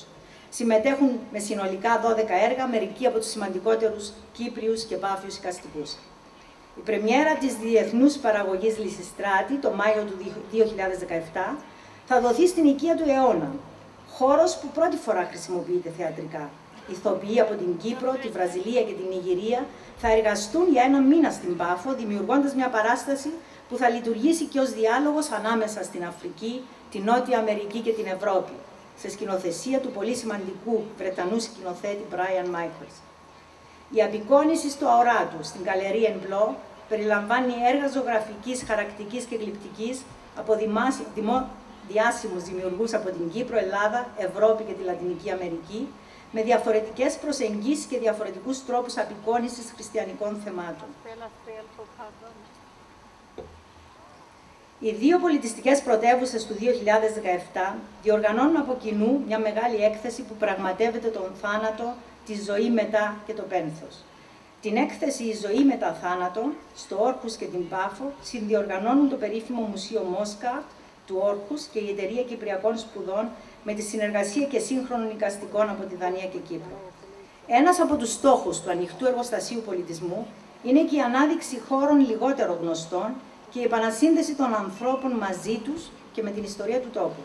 Με τη συνεργασία του πολιτιστικού οργανισμού Avantgarde, το περίφημο Μουσείο του Τίποτα ή Μουσείο Μικυναϊκού Απικισμού της Κύπρου, στην περιοχή Μα Παλαιόκαστρο, υποδέχεται το έργο από τις Μικίνες στην Πάφο, που θα γραφτεί ειδικά για το σκοπό αυτό από τον Κύπρο συνθέτη Σάβα Σάβα. Στην ίδια υποκατηγορία η έκθεση «Πάφος, μύθος, ιστορία, τοπίο», η οποία θα πραγματοποιηθεί τον Μάιο στην Καλερί Εμπλό, παρουσιάζοντας 30 και πλέον καλλιτέχνες από Κύπρο και Ελλάδα, διαφορετικών γενιών, τεχνοτροπιών και προσεγγίσεων που εμπνέονται από την πάφο της ιστορίας των μύθων και της ανίποτη ομορφιάς του τοπίου. Επιπλέον, ο μεγάλος οικαστικός Κώστας Τσόκλης θα αφήσει εδώ στην πάφο την προσωπική του σφραγίδα με μια οικαστική παρέμβαση στο τοπίο. Συνειδητά η πολιτιστική πρωτεύουσα της Ευρώπης επέλεξε να αποχαιρετήσει το 2017 με δύο σημαντικά έργα από αυτή την υποκατηγορία. Αφενός αναδεικνύουμε την πνευματική ζωή στην Πάφο κατά το πρώτο μισό του 20ου αιώνα με το έργο του ιστορικού δημάρχου της Πάφου Χριστόδουλου Γαλατόπουλου «Παγκόσμιον Άσμα», τιμώντας με αυτόν τον τρόπο τον Γαλατόπουλο, ο οποίος εκτός από πολιτικός και κοινωνικός αγωνιστής υπήρξε ποιητής και εκλεκτός πνευματικός άνθρωπος. Ταυτόχρονα, διοργανώνουμε την έκθεση σύγχρονης τέχνης, υφαίνοντας την Ευρώπη, ο κόσμος ως στοχασμό, σε επιμέλεια Έφης Κυπριανίδου, που θέτει το επίκαιρο ζήτημα της συγκρότησης της ευρωπαϊκής ταυτότητας και την ανάγκη εξέτασης όλων εκείνων που εξηφαίνουν σήμερα το ευρωπαϊκό οικοδόμημα. Με την Αφροδίτη ως μόνιμο σημείο αναφοράς, τα επτά έργα της υποκατηγορίας Θεά γυναίκα εστιάζουν στις άπειρες δυνατότητες και τα πολλαπλά πρόσωπα ενίοτε και προσωπία της γυναίκας, η αρχαία Θεά, η μάνα, η ερωμένη, η γριά, η θεομήτωρ, αλλά και η ίδια η νήσος Κύπρος και η αρχαία και σύγχρονη πολιτεία της Πάφου. Η Πάφος, μυθική πατρίδα της Αφροδίτης, έχει, ταυτιστεί, έχει ταυτίσει το όνομά της με τη θεά της ομορφιάς και του έρωτα. Το πρόγραμμα της πολιτιστικής πρωτεύουσας της Ευρώπης φωτίζει αυτό το μυθικό τοπίο με μια σειρά από έργα, κάποια σύμφωνα με την ιστορία που όλοι γνωρίζουμε και κάποια που εκκινώντας από την Αφροδίτη διευρύνουν θέματα και φτάνουν μέχρι και τις μέρες μας. Η έκθεση αναφορά στην Αφροδίτη δίνει το πλαίσιο μιας συνομιλίας με παγκόσμια αριστουργήματα που έχουν στο επίκεντρό τους τη θεά της ομορφιάς σε επιμέλεια του καθηγητή Γιώργου Γεωργή και της οικαστικού Ερατούς Χατζησάβα, καθώς επίσης τη συμμετοχή σπουδαστών και αποφύτων της Σχολής Καλών Τεχνών Αθηνών. Πρόκειται για μια διαδραστική προσέγγιση με αξιοποίηση και πολυμέσων που περιλαμβάνει τρισδιάστατα επιτύχια έργα και βίντεο με θέμα τις σχετικές απεικονίες της ΕΑΣ. Ένα άγγιγμα της Αφροδίτης και άλλα τεινά. Λέγεται η μουσική παράσταση που αντλεί έμπνευση από τη θεά της ομορφιάς και του έρωτα με πρωταγωνίστρια την εκτιφλωτική Ούτσε Λέμπερ, σε ένα πρόγραμμα που περιλαμβάνει μεταξύ άλλων αστραφτερές στιγμές από τη μουσική του Kurt Weill και την ποίηση του Bertolt Brecht. Την παγκοσμίου φήμη ερμηνεύτρια συνοδεύει η Συμφωνική Ορχήστρα Κύπρου σε διεύθυνση του Γιώργου Κουντούρη. Η πολιτιστική πρωτεύουσα της Ευρώπης έχει επιτύχει να δημιουργήσει ένα πολύπλευρο πρόγραμμα και λόγω των συνεργασιών της με σημαντικούς φορείς του τόπου. Ένα τέτοιο παράδειγμα είναι η Λεβέντιο Πινακοθήκη στη Λευκοσία, όπου παρουσιάζεται η έκθεση τα πολλά πρόσωπα της Αφροδίτης, ζωγραφίζοντας τη θεά μέσα από την αλληγορία και τον μύθο, μετά την αναγέννηση. Εκεί εκτίθενται καλλιτεχνικοί θησαυροί από κορυφαία μουσεία της Ευρώπης με κοινό σημείο αναφοράς την απεικόνηση μύθων και θρύλων στενά συνδεδεμένων με την Αφροδίτη της Πάφου. Μετά τον ύμνο στην Αφροδίτη, στον έρωτα, περνάμε στην υποκατηγορία φεγγάρια και αστέρια υπό το σελινόφος και τους αστερισμούς, συνδυάζοντας λόγο και μουσική, εικόνες, μύθους και ιστορία, υπομνηματίζοντας τον θόλο που σκέπει την Πάφο, την Ευρώπη και την Οικουμένη. Τα επτά έργα αυτής της υποκατηγορίας στρέφουν το βλέμμα σε δύο χώρους εξίσου ιστορικά φορτισμένους. Στην πέτρα του Ρωμιού, χώρος που συμπυκνώνει την κυπριακή ιστορία στο σύνολό της, οι Σαρακινοί, οι Πειρατές, η, η ακριτική πίση, οι οδηγενείς ακρίτες, αλλά και το σημείο όπου αναδύεται η Αφροδίτη. Και το αρχαίο οδείο της Πάφου, εκεί όπου, όπου η ήχη του πιάνου και η ηχό του κλασικού δράματος συνομιλεί αρμονικά με τις πιο υψηλές σύγχρονες ποιητικές συνθέσεις και η περιούσια ανάσα του Αλεξανδρινού ψιθυρίζει με την καβαφική ακαιρεότητά της. Δεν είμαι Έλλην, είμαι ελληνικός. Έτσι, θυμόμαστε μέσα στον ίσιο της πέτρας και μέσα στην αντανάκλασή της στα νερά ότι η Αφροδίτη δεν γεννήθηκε στην Πάφο, μόνο έφτασε εδώ, όπως οι ταξιδιώτες, οι μετανάστες και οι πρόσφυγες. Έχετε ήδη δει ότι στην Πέτρα του Ρωμιού θα φιλοξενήσουμε, θα υποδεχτούμε την Ελευθερία Αρβανιτάκη σε ένα πρόγραμμα με μεγάλους ποιητές, το οποίο θα αποδείξει και τη βαθιά ευαισθησία της ερμηνεύτριας στη μελοποιημένη ποίηση. Έχετε επίσης δει στην οθόνη την κορυφαία Βρετανίδα ηθοποιό Charlotte Rambling με τους συνεργάτες της, η οποία παρουσιάζει τη λογοτεχνική συνάντηση του Κωνσταντίνου Πικαβάφη και της Μαργαρίτη Ουρσενά. Στο σύμπαν από μουσικές και ξεχωριστούς ήχους που δημιουργούμε στην πέτρα του Ρωμιού, ο Κόραν Πρέκοβιτ ενώνει με τη δημιουργική σχηνοβασία του όσα φαίνονται ατέριαστα. Η ποίηση τέχνικου θα πω ακόμη κάτι. Οι ήχοι του με έντονες επιδράσεις της βαλκανικής παράδοσης ξεχωρίζουν για τα χάλκινα τις παραδοσιακές βουλγαρικές πολυφωνίες, την ηλεκτρική κιθάρα, τα παραδοσιακά του κρουστά. Η ποίηση οικουμενική με τα ποίηματα του Κωνσταντίνου Πικαβάφη να αντιχούν την νοσταλγία μιας χαμένης ανθρώπινης φωνής, καθώς η μουσική του Θοδωρή Οικονόμου περιηγείται στην Οδύσσια του Πόπου Βίλσον. Ο όρος προορισμός και Οδυσσέας λειτουργούν ως ερμηνευτικά κλειδιά για την καβαφική Ιθάκη, με την οποία ξεκινά την απαγγελία του ο Γιώργος Κιμούλης, προτού δώσει ξανά τη σκητάλη στη μουσική για να συνεχιστεί το ταξίδι. Από αυτή τη γιορτή της μουσικής, της ποίησης και της ομορφιάς δεν θα μπορούσαν να λείψουν δύο μουσικά σχήματα του τόπου μας. Το μουσικό σύνολο Accord της Guitar, με εννέα κιθάρες και ρακοντραπάσο, παρουσιάζει έργα που εμπνέονται από το σημείο ανάδυσης της Αφροδίτης διασκευασμένα από τον Ευαγόρα Καραγιώργη και η Βασιλική Αναστασίου και το Amalgamation Project ισορροπούν ανάμεσα σε πολυφωνικούς, μεσογειακούς και βαλκανικούς ήχους. Στην Πάφο το 2017 γράφεται πιστεύουμε ιστορία. Εδώ στο αρχαίο 2 και ο Βλαντιμίρα Σκενάζη μαζί με το γιο του Βόφκα σε μια κορυφαία και παγκόσμια διοργάνωση, σε ένα ρεσιτάλ με δύο πιάνα. Ένα ζωντανός θρύλος της μουσικής, μια κορυφαία προσωπικότητα ο σημαντικότερος ίσως μαέστρος και πιανίστας στον κόσμο σημαδεύει με το πέρασμα του το αρχαίο οδείο. Εδώ πριν συνεχίσω θα ήθελα να πω ότι φτάσαμε πέρα του μισού α, της παρουσίασης. Ε, θέλω να φανταστείτε ότι είναι δύσκολο να ακούσουμε τις πληροφορίες. Φαντάζεστε πόσο δύσκολο είναι να γίνουν σε πράξη, να εφαρμοστούν και να δώσουν ουσία θεά στον πολιτισμό. Είναι υπέροχο, υπέροχο αυτό που γίνεται, συγκινητικό και πρέπει ως Κύπροι να είμαστε πολύ, μα πολύ περήφανοι. Συγγνώμη για την παρέμβαση. Με τα χαράς. ε, στην πρώτη υποκατηγορία αυτής της ενότητας... Ευχαριστώ, Νεοκλή. Πολύ ωραία η παρέμβαση. Έτσι, να κρατηθούμε για ζωντανή. Λοιπόν, πριν να προχωρήσουμε όμως στην πρώτη υποκατηγορία, πολύ γρήγορα να πούμε ότι η δεύτερη ενότητα του προγράμματος μας, Ταξιδιώτες του Κόσμου, είναι αυτό που έχετε ακούσει και από τους προλαλήσαντες. Είναι ουσιαστικά το σημείο της άφηξης αλλά και αφετηρία για την αναχώρηση. Η πάφος, έτοιμη, επανδρομένη, γεμάτη από προμήθειες, ξεκινά ένα ταξίδι.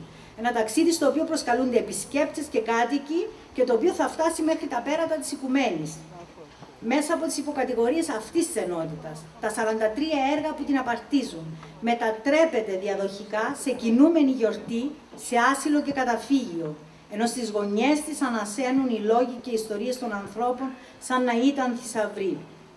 Η δεύτερη ενότητα εντρυφά στις γεύσεις του κόσμου και αφουγκράζεται ταυτόχρονα τις ιστορίες των ανθρώπων που έφτασαν στην Κύπρο, όπως η Αφροδίτη, με την αγωνία του ανέστιου.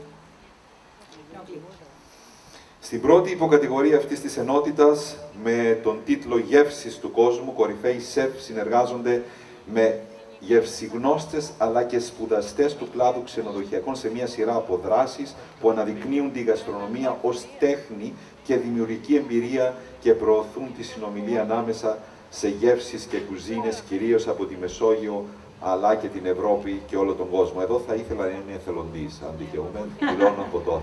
Δώστε μου την πορτοκαλιά φρενπίτσα.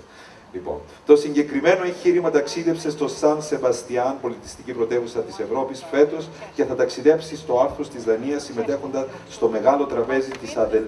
αδελφής πολιτιστικής πρωτεύουσας Χειρονομία, που υπομνηματίζει ένα δείπνο των ουρανών, εκεί όπου ο καθένας οφείλει να προσκομίσει το πιο προσωπικό και ταυτόχρονα το πιο κοινό και οικουμενικό έδεσμα της εντόπιας παράδοσης. Η λαϊκή παράδοση της Πάφου και ολόκληρης της Κύπρου διδάσκει ότι ο πιο ταιριαστός τόπος για συνέβρεση είναι η αυλή του σπιτιού ή ο κήπος του, δίνοντας έμπνευση στο πρόγραμμα της πολιτιστικής πρωτεύουσας της Ευρώπης να διευρύνει την έννοια του ανοιχτού εργοστασίου στη γαστρονομία και να μετατρέψει την Πάφο σε ένα κήπο των γεύσεων. Εδώ περιλαμβάνονται μια σειρά από εκδηλώσεις που ξεκίνησαν το 2015, αναδεικνύοντας την ιδιαίτερη φύση και τον πλούτο, τον πλούτο των προϊόντων της περιοχής της Πάφου εγκαθιδρύοντας την κουζίνα και τη γαστρονομία ως δημιουργική εμπειρία ανάμεσα στη φύση και τις τέχνες. Το 2017 το πρόγραμμα συνεχίζεται με την ανέλκυση κρασιών, τα οποία η πολιτιστική πρωτεύουσα της Ευρώπης είχε φοντίσει το 2016, καθώς και με την περιοδία της έκθεσης Ίνου Τέχνη, που πραγματοποιήθηκε επίσης το 2016. Στο ίδιο πρόγραμμα εντάσσονται και άλλες παρεμφερείς εκδηλώσεις, οι οποίες συνδυάζουν την κουζίνα της Πάφου με τις γεύσεις της Ανατολής και της Δύσης, και κορυφώνονται με το μενού της πολιτιστικής πρωτεύουσας της Ευρώπης και ένα ανοιχτό γευσιγνωστικό φεστιβάλ που καλεί το κοινό να συμμετάσχει σε ένα, σε ένα συμπόσιο γεύσης και τέχνης. Σε αυτό το εγχείρημα συμβάλλουν και οι κοινότητες της ΠΑΦΟΥ στο πλαίσιο των καθιερωμένων παραδοσιακών εορτών τους, προσφέροντας στους ντόπιους και επισκέπτες της επαρχίας μια περιήγηση σε γεύσεις από την κυπριακή και κυρίως την παφιακή γαστρονομική παράδοση. Η ενότητα ταξιδιώτε του κόσμου εξετάζει ζητήματα σχετικά με τις προοπτικές και τις δυνατότητες αρμονικής συμβίωσης σε ένα πολυπολιτισμικό αλλά και έντονα κυπριακό περιβάλλον, δημιουργώντας προποθέσει και γέφυρες για τη συμβίωση ξένων και ντόπιων στην Πάφο. Η καστικό Λία Λαπίθη με το έργο The Corner of a Foreign Field στείνει ένα τραπέζι στα χωράφια της Λεμόνας με μια ομάδα ξένων μόνιμων κατοίκων της περιοχής κινηματογραφώντας το γεύμα και δημιουργώντας έτσι το υλικό για ένα οπτικοακουστικό project, το οποίο θα ταξιδέψει σε πιενάλε και φεστιβάλ σε όλο τον κόσμο. Το τρίτο έργο της υποκατηγορίας αυτής, γεφυρώνοντας γεύσεις, ανταλλάσσοντας συνταγές, φωτίζει ιστορίες μαθητών από διάφορες χώρες που φοιτούν στον κλάδο ξενοδοχειακών της Τεχνικής Σχολής Πάφου. Μέσα από την ανταλλαγή συνταγών, οι μαθητές αφηγούνται τις ιστορίες, τα βιώματά τους προσωπικές, οικογενειακές, ακόμα και ευρύτερες κοινωνικές βιογραφίες. Η διαδικασία καταγράφεται φωτογραφικά, συγκροτώντας μια ιστορία της κουζίνας του κόσμου και αναδεικνύοντας την εγκύτητα και τις κοινές ρίζες, αλλά και τις ιδιαιτερότητες της κάθε γαστρονομικής κουλτούρας. Ταυτόχρονα, η συνάντηση αγγίζει και ορισμένα από τα πιο σύνθετα σύγχρονα ζητήματα, ιδιαίτερα αυτά της προσφυγοποίησης, της μετανάστευσης και της εξαφάνισης των παραδοσιακών κοινωνικών δομών. Η αφήγηση της πολιτιστικής πρωτεύουσας περνά από το συμπόσιο των γεύσεων στο συμπόσιο των φωνών, των αφηγήσεων και των μαρτυριών, στις ιστορίες για αυτά που δεν γνωρίζουμε. Τα 21 έργα της υποκατηγορίας αυτής στοιχειολογούν ιστορίες ξένων τόπων και πολιτισμών και πάνω απ' όλα προσώπων, διηγήσεις τις οποίες οι καλλιτέχνες μεταφυτεύουν στο έδαφος της Πάφου που αποδεικνύεται άσυλο για τους περιπλανόμενους όλου του κόσμου. Οι μαρτυρίες, κυρίως των μεταναστών και των προσφύγων και οι ποικίλες καταγραφές τους στα έργα τέχνης αποτυπώνουν τον πανάρχαιο δυναμισμό της Πάφου και όλης της Κύπρου. Να υπάρχει ως γέφυρα, σημείο καμπής και τόπος συνάντησης ανθρώπων από όλα τα μέρη του κόσμου ή για να το πούμε αλλιώς που δύσιν ως Ανατολήν και που βορράν ως νότο. Μπορεί να βλέπουμε το κάστρο της Πάφου καθημερινά. Το σίγουρο πάντως είναι ότι δεν θα το ξαναδούμε με την ίδια προοπτική. Η ομάδα Ρετουραμόντ έχει σχεδιάσει ειδικά για το κάστρο της Πάφου μια παράσταση χορούς στον αέρα.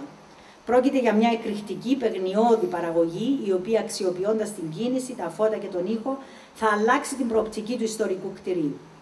Πλάνητες είναι οι περιπλανόμενοι, άρα οι ταξιδιώτες του κόσμου, από τον Αγαπήνορα μέχρι τον Απόστολο Παύλο και Άγιο Νεόφυτο και βέβαια την Αφροδίτη, αλλά και οι πρόσφυγες διαχρονικά έως τους σημερινούς μετανάστες.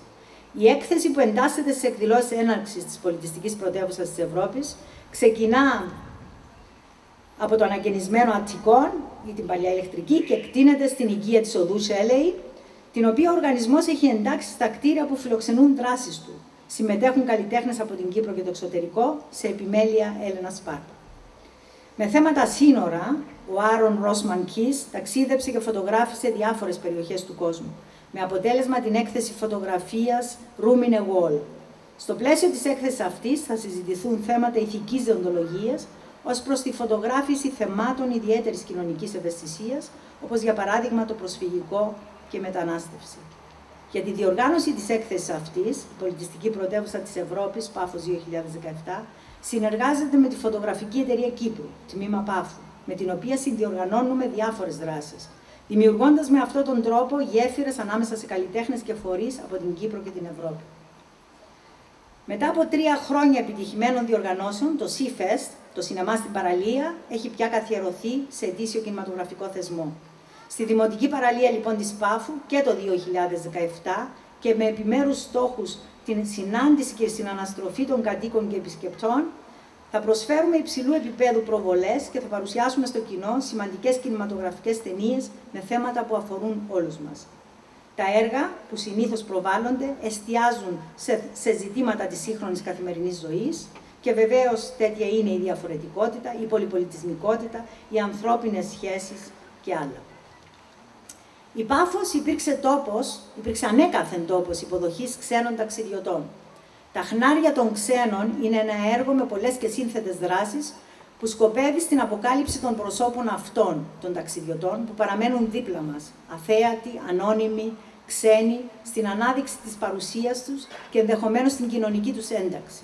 Στο πλαίσιο του έργου αυτού, σημαντικοί φωτογράφοι από την Ευρώπη προσκαλούνται στην Πάφο ώστε να περιηγηθούν στις γειτονιές της και να ιστορίσουν με τις εικόνες τους τις περιπέτειες ενός αθέατου κόσμου η διαδρομή των φωτογράφων στα χνάρια των ξένων, καθώς και η συνεργασία και συμμετοχή των παιδιών στην παραγωγή μιας σημαντικής ταινίας θα καταγραφούν σε ένα κινηματογραφικό ντοκιμαντέρ ενάντια στο ρατσισμό και τον κοινωνικό αποκλεισμό των μειονοτήτων στη σύγχρονη κυπριακή κοινωνία. Από τη μακρινή Ιαπωνία, η Πάφος υποδέχεται τους τυμπανιστές Γιαμάτο. Σε κάτι πολύ περισσότερο από μια μουσική παράσταση, η ομάδα χρησιμοποιεί επί σκηνής δεκάδες παραδοσιακά ιαπωνικά τύμπανα, η δύναμη το Γιαμάτο, έγραψαν οι Times του Λονδίνου, ξεσηκώνει τους θεατές οι οποίοι δεν σταματούν να γελούν, να χειροκροτούν και να συμμετέχουν στην παράσταση. Πριν από τη δική μας συναυλία, ένα ανοιχτό εργαστήρι προσκαλεί όσους γοητεύονται από τον ήχο των κρουστών να μοιηθούν σε αυτό το μαγευτικό πανδαιμόνιο με τις βαθιές ρίζες στην Ιαπωνική παράδοση. Η πολιτιστική πρωτεύουσα της Ευρώπης, αξιοποιώντας την εμπειρία δύο προηγουμένων διοργανώσεων, καθιερώνει αρχής γενομένης το 2017 ένα διεθνές φεστιβάλ μονοδράματος, προορισμένο να καταστεί θεσμός και να τοποθετήσει την Πάφος στον χάρτη των διεθνών διοργανώσεων μονοδράματος. Η Πάφος, η Κύπρος, ο Σταυροδρόμι Πολιτισμών αποτελεί ένα προνομιακό πεδίο για την καθιέρωση ενός σημαντικού, όχι μόνο καλλιτεχνικά, αλλά και από τουριστική και ευρύτερα οικονομική άποψη θεατρικού προϊόντος.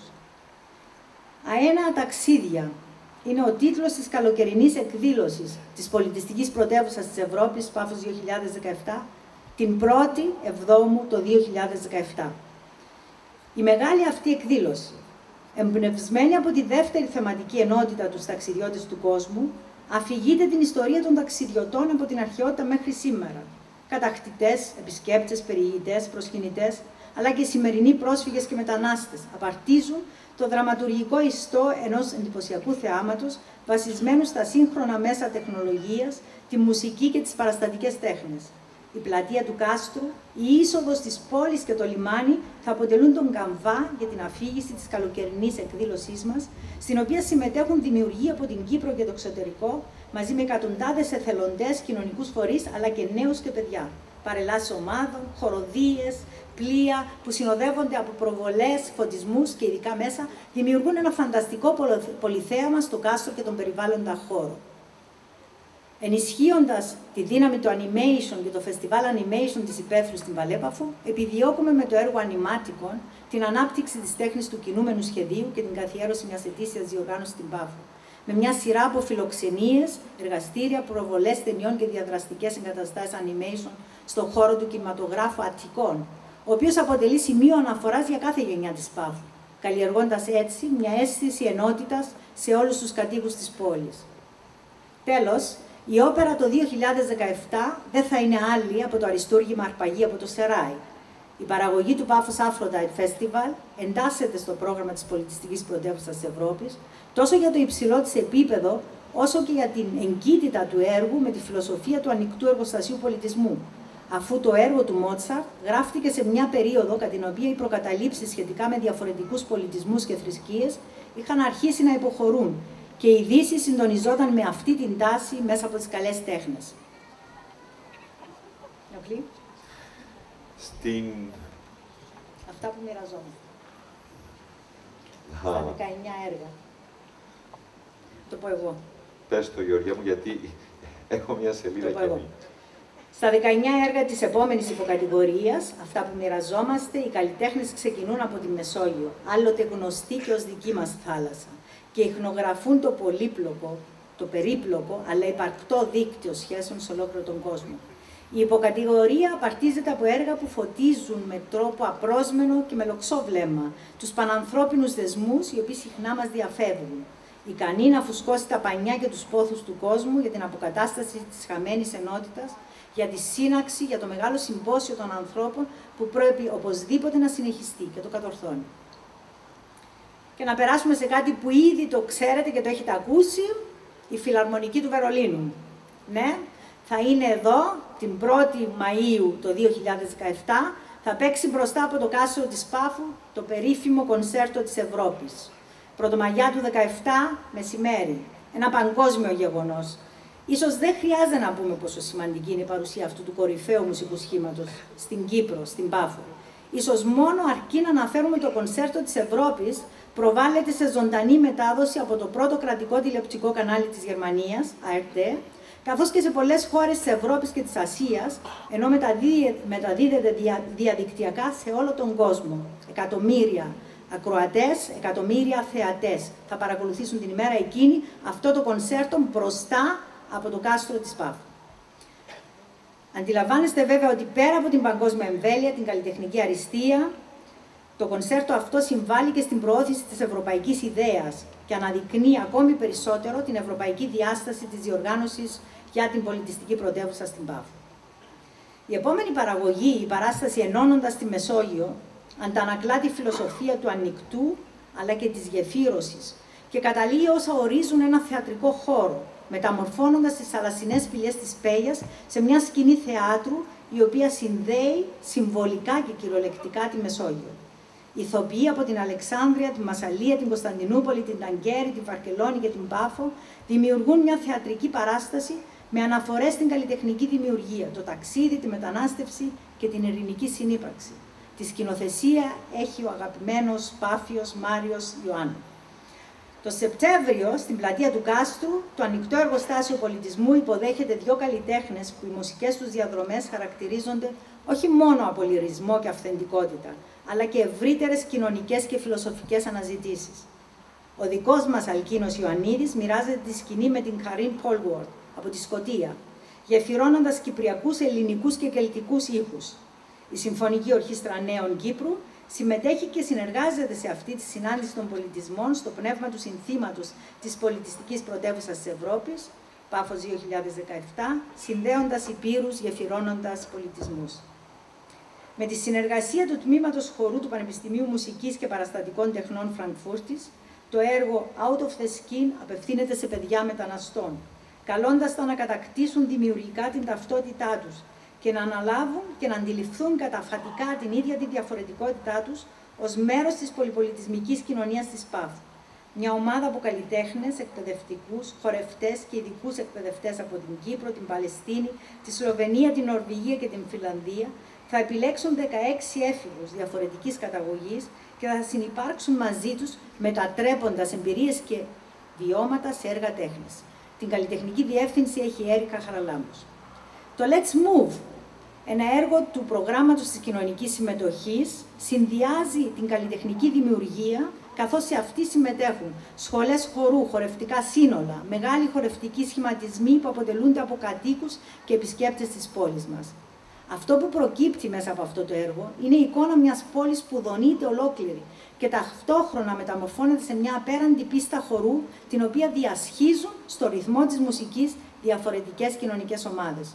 Στην εκδήλωση που γίνεται με τη συνεργασία του οργανισμού Dance Culture Πάφος, συμμετέχουν σύνολα παραδοσιακού και έντεχνου χορού, καθώς και μουσικά σχήματα της Πάφου. Η πολιτεία στηρίζει τη διοργάνωση της πολιτιστικής πρωτεύουσας της Ευρώπης Πάφος 2017, και με την ένταξη θεσμικών διοργανώσεων στο πρόγραμμα της χρονιάς μας. Μεταξύ άλλων, ο Θεατρικός Οργανισμός Κύπρου, η Συμφωνική Ορχήστρα Κύπρου, καθώς και η Ορχήστρα Νέων, εμπνέονται από το εμβληματικό σύνθημά μας και εντάσσουν στο πρόγραμμά τους εκδηλώσεις, παραστάσεις και εκπαιδευτικά προγράμματα που συνομιλούν με τις θεματικές του ανοιχτού εργοστασίου πολιτισμού και ανταποκρίνονται στα θέματα που αυτό εγείρει κατά τη χρονιά του 2017. Τέλος, μέσα από μια εορταστική σπουδή στις μεσογειακές μουσικές παραδόσεις αναδεικνύονται οι επιρροές των παραδόσεων και ο τρόπος με τον οποίο αυτές εκφράζονται μέσα από τη σύγχρονη μουσική. Ιδιαίτερη σημασία δίνεται στις κοινές μουσικές εμπειρίες, όσες διατρέχουν και μουσικές της Κύπρου, αλλά και ολόκληρης της Μεσογείου, συμβάλλοντας στην ανάπτυξη του διαπολιτισμικού διαλόγου, την οικοδόμηση γεφυρωμάτων και υπογραμμίζουν τα κοινά γνωρίσματα που παρουσιάζει η κληρονομιά της περιοχής. Όλα αυτά σε ένα τριήμερο στην Γεροσκήπου, με πέντε συναυλίες από μουσικούς από την Κύπρο, Ελλάδα, την Νότια Ιταλία, την Συρία και την Ισπανία. Ελπίζοντας να μην σας έχουμε κουράσει πολύ, έχουμε φτάσει στην τελευταία θεματική, τα στάδια του μέλλοντος. Η αφήγηση της πολιτιστικής πρωτεύουσα ξεκίνησε από την κατάδυση της Πάφους στον βαθύτερο εαυτό της, συνεχίστηκε με το ταξίδι της Πάφου στον κόσμο και ολοκληρώνεται με την τρίτη θεματική ενότητα, στην Πάφο του σήμερα, τη σύγχρονη πόλη ως προορισμό και για τους επισκέπτες αλλά και για τους κατοίκους του τόπου. Με τα στάδια του μέλλοντος, το πρόγραμμα της πολιτιστικής πρωτεύουσας αποδεικνύει ότι στοχεύει στη συνέχεια, στη διάρκεια. Εδώ λοιπόν τα 50 έργα αναφέρονται στα σύγχρονα προβλήματα, διλήμματα και ενίοτε αδιέξοδα που καλείται να αντιμετωπίσει η Πάφος. Και ως τόπος και βεβαίως ως λαός, ως κοινό πολιτών. Οι προκλήσεις της τεχνολογικής προόδου, πολεοδομικά ζητήματα, η πολυπολιτιστική διάσταση της σημερινής πόλης, οι μετανάστες, οι πρόσφυγες, και ασφαλώς οι δύο κοινότητες και το οριακό στίχημα για μια επιτέλους αρμονική και δημιουργική συνύπαρξή τους. Στην τρίτη ενότητα του προγράμματος διακυβεύεται ουσιαστικά η κληρονομιά και η παρακαταθήκη της πολιτιστικής πρωτεύουσας στην πόλη που την φιλοξενεί. Στην ίδια την Πάφο του 2018 και των κατοπινών χρόνων και εύλογα η πρώτη από τις κατηγορίες της εστιάζει σε μια δυναμική αναφορά και ανταπόκριση στις προκλήσεις του παρόντος, τόσο της πόλης όσο και γενικότερα του σύγχρονου κόσμου. Η ανταπόκριση εκδηλώνεται με μία σειρά από 14 έργα που επιχειρούν να σκιαγραφίσουν τη φυσιογνωμία ενός κόσμου, ο οποίος διατελεί σε ακατάπαυστο μετασχηματισμό εξαιτίας των εξελίξεων σε όλα τα επίπεδα του βίου, πολιτική, κοινωνία, τεχνολογία κτλ. Το εικαστικό εγχείρημα Τέρα με τη Τερανέα θα πραγματοποιηθεί σε Πάφο και Λευκοσία, αναδεικνύοντας ζητήματα του σύγχρονου κόσμου, αλλά και προβάλλοντας στην Πάφο της συνάντησης των πολιτισμών σε ένα μοναδικό διπορικό από εικαστικές εγκαταστάσεις, σε χώρους ιστορικού, αρχαιολογικού, εθνολογικού και κοινωνιολογικού ενδιαφέροντος. Μια συνεργασία της πολιτιστικής πρωτεύουσας της Ευρώπης με το Δημοτικό Κέντρο Τεχνών Λευκοσίας και το Ίδρυμα Πιερίδης σε επιμέλεια Γιάννη του Μαζί που φιλοξενεί καλλιτέχνες από την Αίγυπτο, Λίβανο, Κύπρο, Σερβία, Τουρκία και Ισραήλ, το οποίο περιλαμβάνει μεταξύ άλλων μια εγκατάσταση στη σπηλιά της Φάπρικας, από την παγκόσμια και πραγματικά παγκόσμια καταξιωμένη οικαστικό Σίχαρου Σότα από την Ιαπωνία. Το έργο Eco Art, στο οποίο συμμετέχει μεταξύ άλλων και η πολιτιστική πρωτεύουσα της Ευρώπης Ματέρα 2019, συνδυάζει την οικολογία με τις τέχνες και ανταποκρίνεται και ενισχύει τη φιλοσοφία του ανοιχτού εργοστασίου πολιτισμού. Πρωτίστως με τη φιλοξενία καλλιτεχνών, οι οποίοι καλούνται να τοποθετήσουν τα έργα τους σε ανοιχτούς χώρους. Η τέχνη παρεμβαίνει στην καθημερινή ζωή των ανθρώπων, ενεργοποιώντας ένα διάλογο ανάμεσα σε κατοίκους, επισκέπτες και καλλιτέχνες, όταν την ίδια στιγμή οι τελευταίοι βρίσκονται ούτως ή άλλως σε διαρκή συσχέτιση με το περιβάλλον, το ίδιο το τοπίο στο οποίο καλούνται να δημιουργήσουν. Στην κορύφωσή του επιτυγχάνει να φέρει εγκύτερα τον κάθε άνθρωπο με την καλλιτεχνική δημιουργία και τα υψηλής αισθητικής αποτελέσματά της.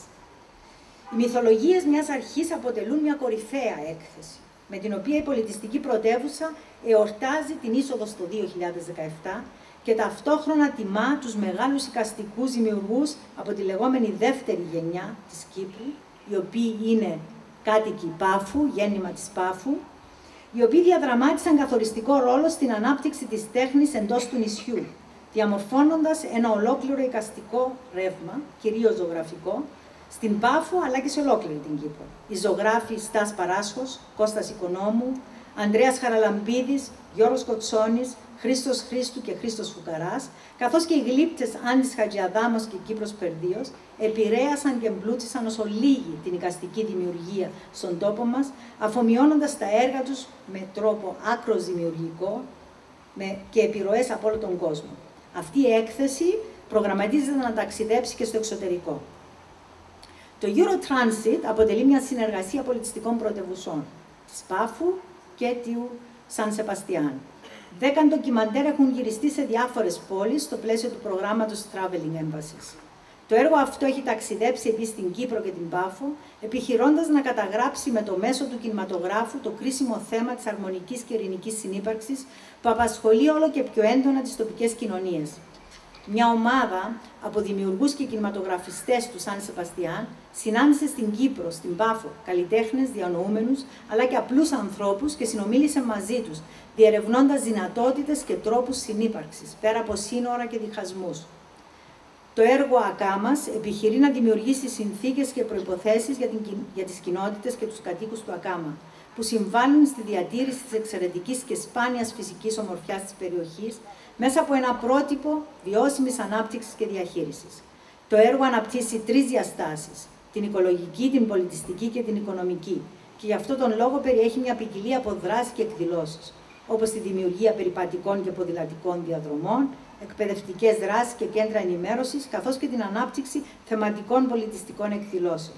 Το έργο έχει αρχίσει και βρίσκεται σε εξέλιξη. Το μεγάλο μοσαϊκό καταγράφει ιστορίες από τη ζωή κατοίκων της Πάφου, Κυπρίων και ξένων, από τη χώρα που γεννήθηκαν, από την οικογένειά τους. Γενικώς όλα όσα συγκροτούν την παράδοση από την οποία προέρχονται, ως στοιχεία βιογραφίας και δημιουργεί μαζί με καλλιτέχνες στη βάση αυτών μια έκθεση και έναν ντοκιμαντέρ. Κατά τον ίδιο τρόπο που το μοσαϊκό συσσωρεύει ψηφίδες οι οποίες συνθέτουν μια μεγαλύτερη εικόνα, η έκθεση θα συσσωρεύει ιστορίες πολλών ανθρώπων από πολλές χώρες, σε πολλές γλώσσες, μορφοποιημένες με πολλές τεχνικές και από πολλούς οικαστικούς, οι οποίοι με τη σειρά τους θα προέρχονται από πολλές χώρες.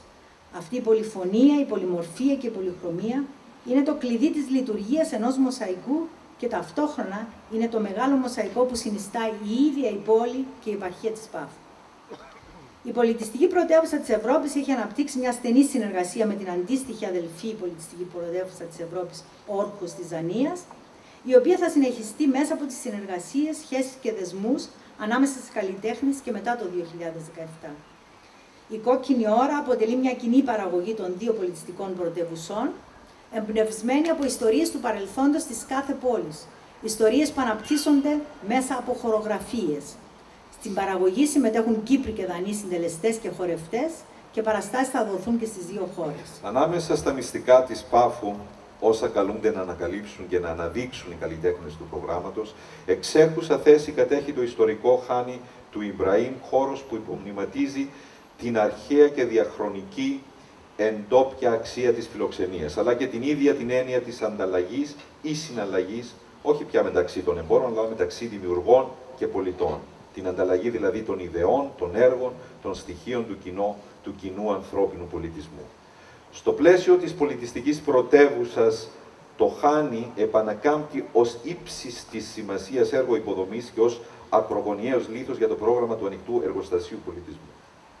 Εδώ, και δεν είναι τυχαίο που το Χάνι βρίσκεται στην καρδιά της πόλης, θα πραγματοποιηθούν 16 έργα, συναντήσεις, συζητήσεις, παρουσιάσεις έργων και καλλιτεχνών, προβολές, εκθέσεις, αλλά και εφήμερες δράσεις και ενέργειες όλα με απότερο στόχο την προώθηση του διαλόγου ανάμεσα σε κοινωνικές ομάδες και φορείς αλλά και πολίτες, διανοούμενους και καλλιτέχνες, ενώ στον ίδιο χώρο θα λειτουργήσει κέντρο ενημέρωσης και επικοινωνίας για την πολιτιστική πρωτεύουσα.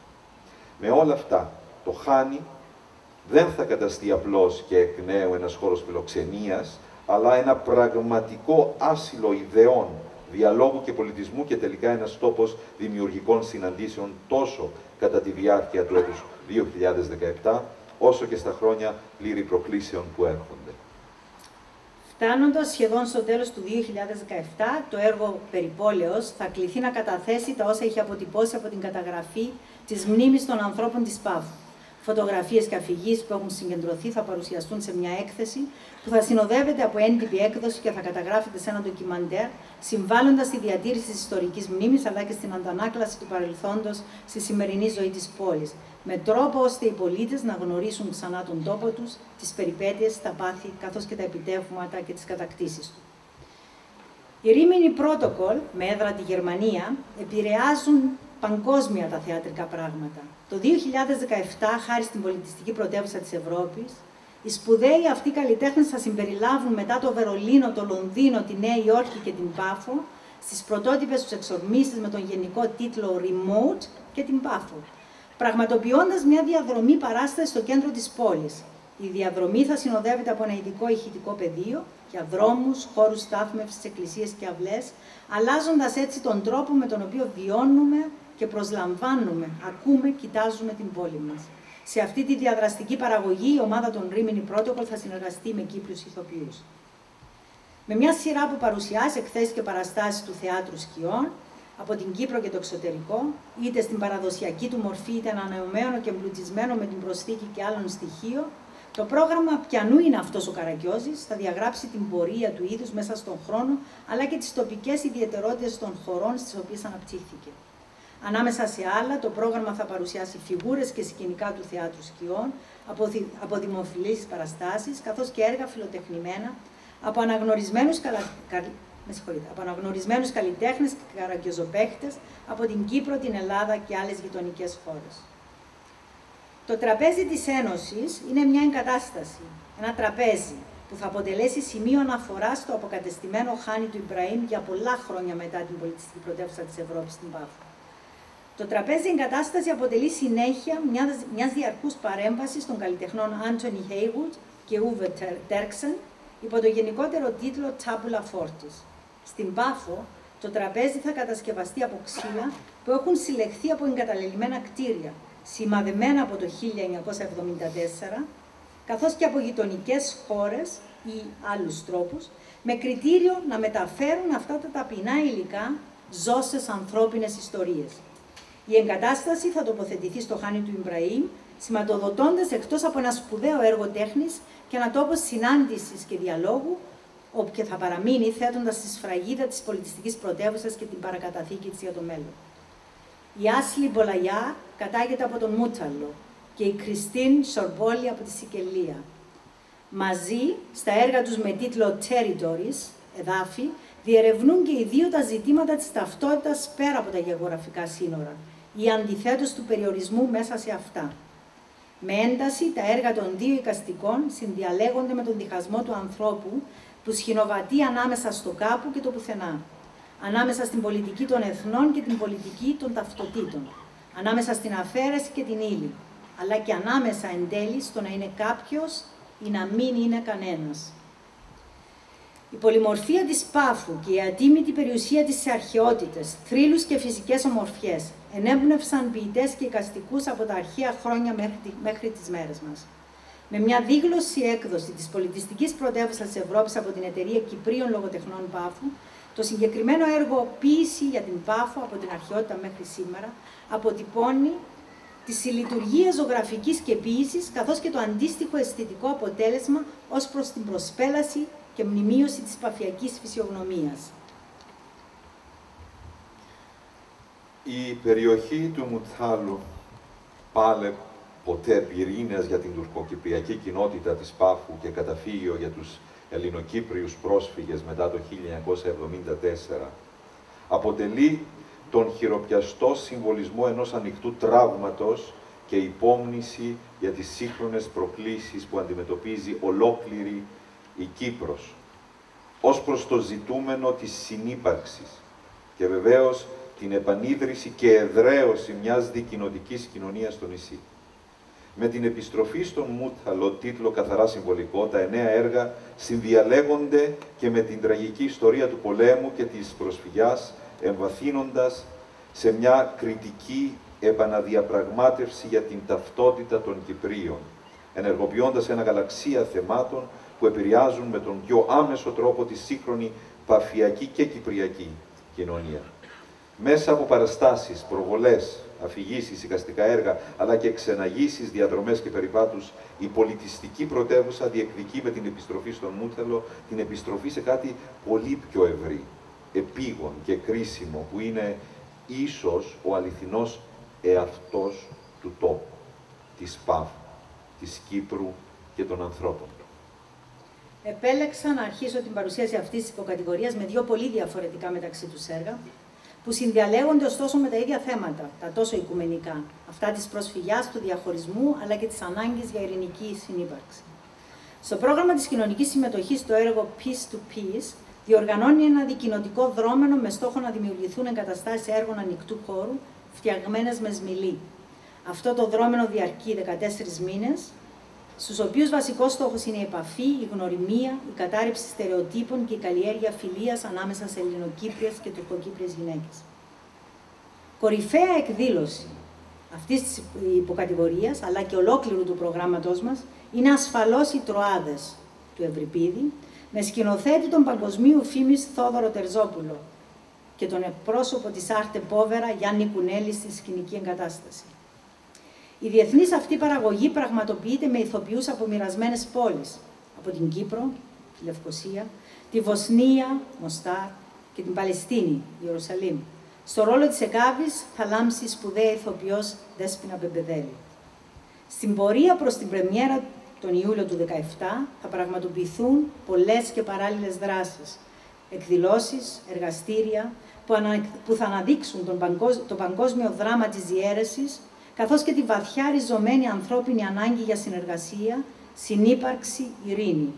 Και βεβαίως αυτή η παραγωγή τοποθετεί για τα καλά την Πάφο στον παγκόσμιο θεατρικό χάρτη. Πρόκειται για μια παγκόσμια παραγωγή.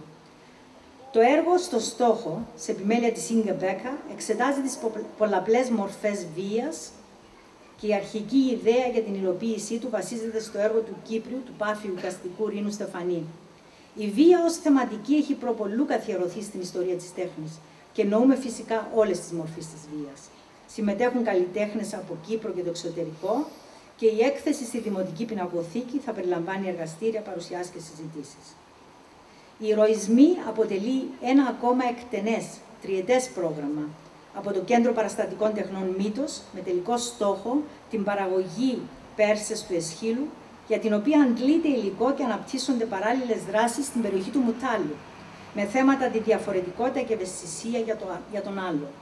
Το έργο αυτό αποτελεί μια συνεργασία των πολιτιστικών πρωτεύουσών Πάφος 2017 και της φετινής πολιτιστικής πρωτεύουσας της Ευρώπης, Ευρώπης Βρότσλαοφ, στην οποία συμμετέχει και το περίφημο Ινστιτούτο Κροτόφσκι.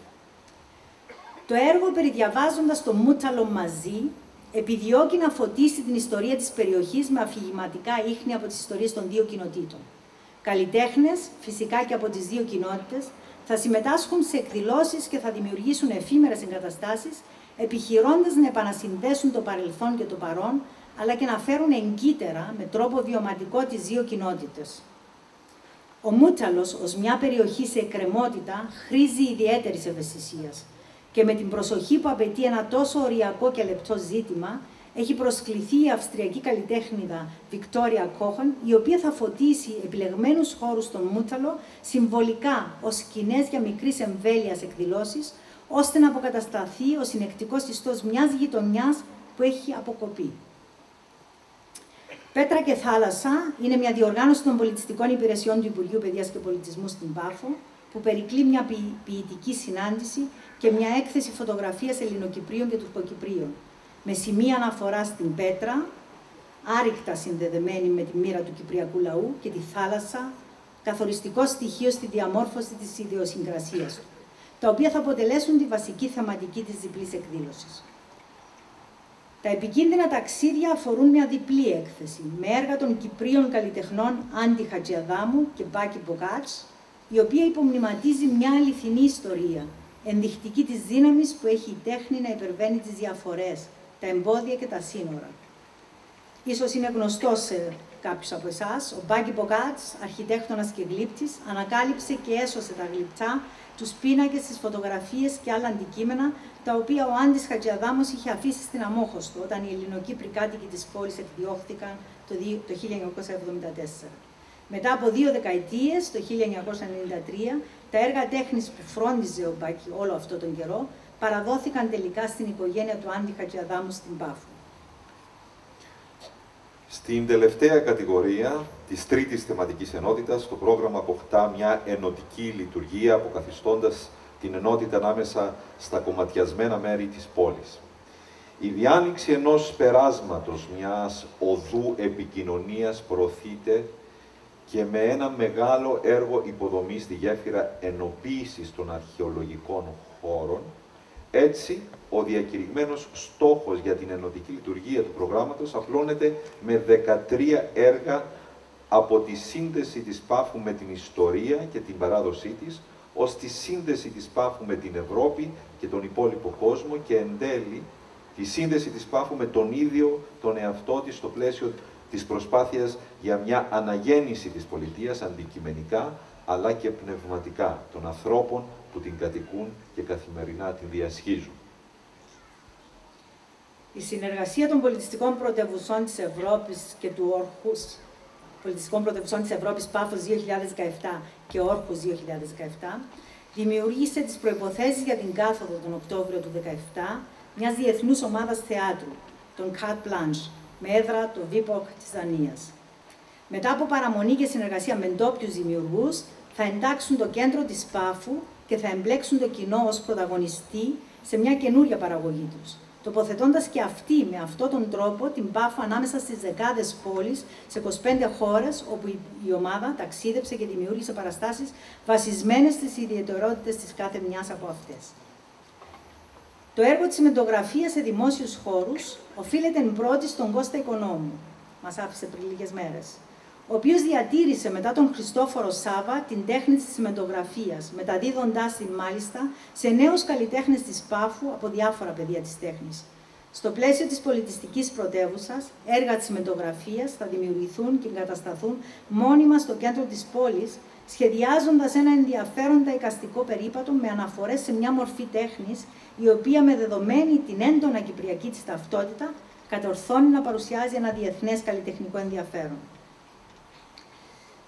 Θα έχουμε επίσης σε αυτή την ενότητα ομάδες χορού επίσης από την Δανία. Θα έχουμε εκθέσεις, θα είμαι λίγο πιο γρήγορη τώρα, ελπίζω οι συνεργάτες στην εικόνα να μπορούν να συντονιστούν.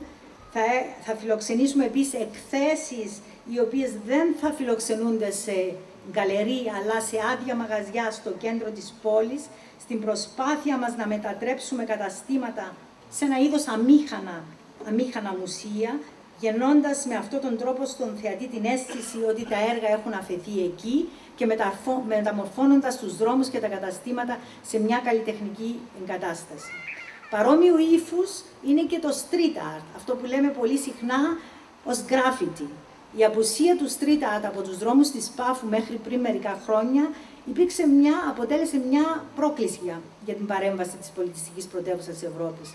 Καλλιτέχνες λοιπόν προσκαλούνται από πέρσι, φέτος ακόμη περισσότεροι, του χρόνου θα γίνουν ακόμη περισσότεροι, να δημιουργήσουν μια άλλη εικόνα, με μια αισθητική αρτιότητα στον περιβάλλοντα χώρο.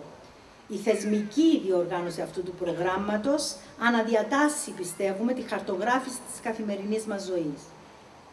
Το πάρκο μύθων και γλυπτικής είναι ένα έργο που συνδέει το παρελθόν με το παρόν, με τον δικό της πλούτο αρχαιοτήτων, λαϊκής παράδοσης και φυσικής ομορφιάς, η Γεροσκήπου αποκτά από το 2017 ένα ανοιχτό πάρκο γλυπτικής, εμπνευσμένο από τους μύθους της περιοχής. Δέκα Κύπροι και ξένοι γλύπτες, σε επιμέλεια της Κατερίνας Φουκαρά, θα δημιουργήσουν επιτόπου έργα εμπνευσμένα από την ιστορία της πόλης, αφήνοντας πίσω τους τα σημάδια της πολιτιστικής πρωτεύουσας της Ευρώπης και δημιουργώντας τις προϋποθέσεις ώστε το πάρκο γλυπτικής να αναπτυχθεί σε ένα πάρκο που θα χαίρονται κάτοικοι και επισκέπτες, εξασφαλίζοντας ταυτόχρονα και μια θέση ενδεχομένως στον παγκόσμιο χάρτη των αντίστοιχων διοργανώσεων.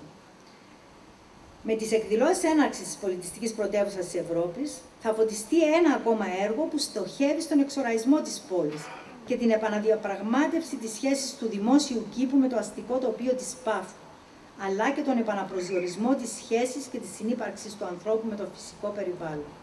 Το έργο «Δεύτερη φύση» Second Nature περιλαμβάνει εφήμερες εγκαταστάσεις που παρεμβαίνουν στο τοπίο, αναδεικνύοντας το ανθρώπινο αποτύπωμα πάνω στο φυσικό περιβάλλον. με τρόπο τέτοιο ώστε η ανθρώπινη παρέμβαση να μην διαταράσει, παρά να υπηρετεί και να προστατεύει τη φυσική αρμονία.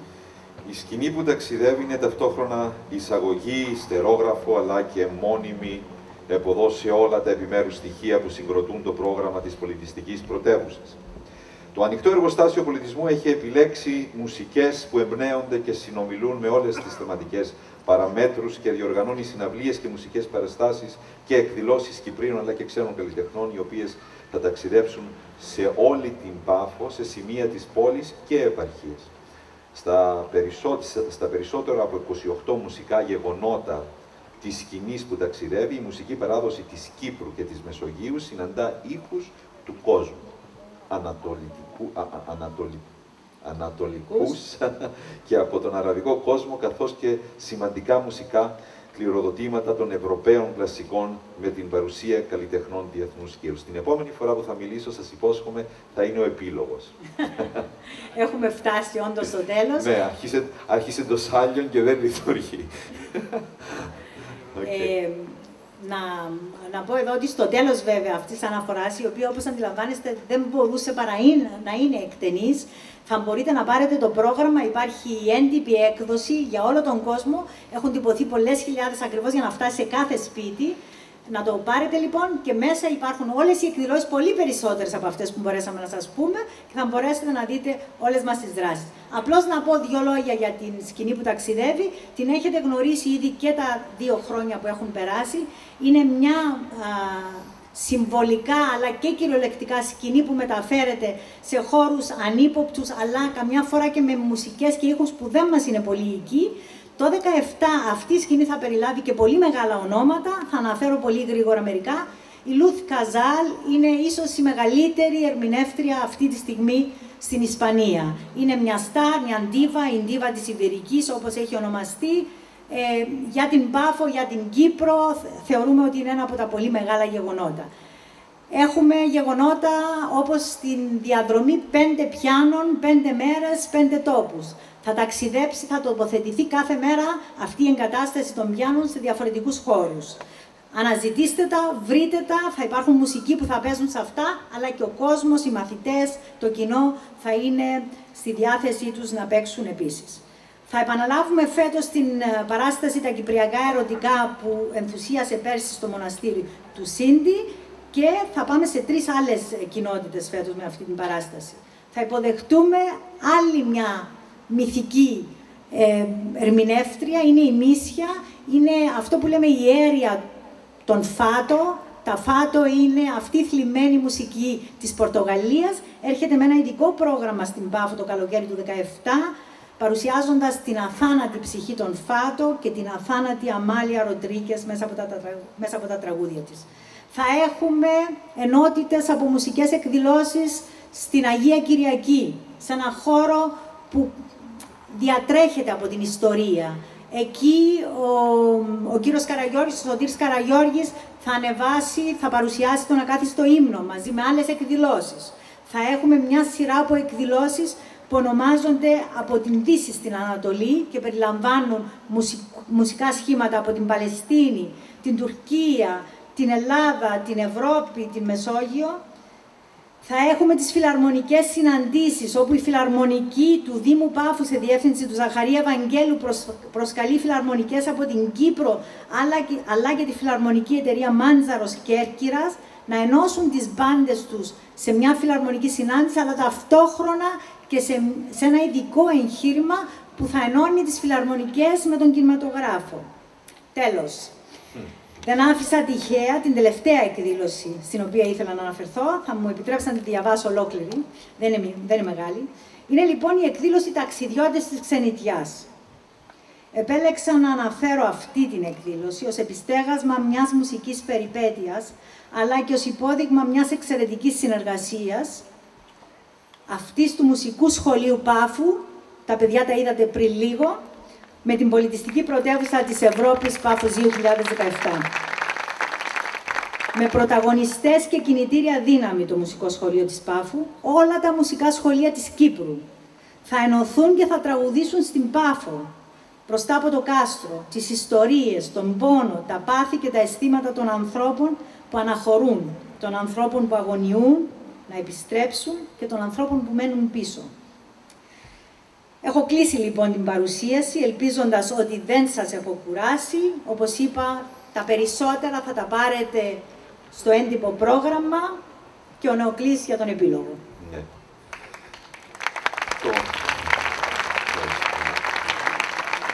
Ευχαριστώ Γεωργία, συγγνώμη για τη μικρή διακοπή. Ο δαίμονας της τεχνολογίας μου έχει βάλει μια άσπρη σελίδα και δεν ήξερα τι να κάνω. Λέω τι χιούμορ να πω, στον πανικό μου λέω ας μην πω τίποτα.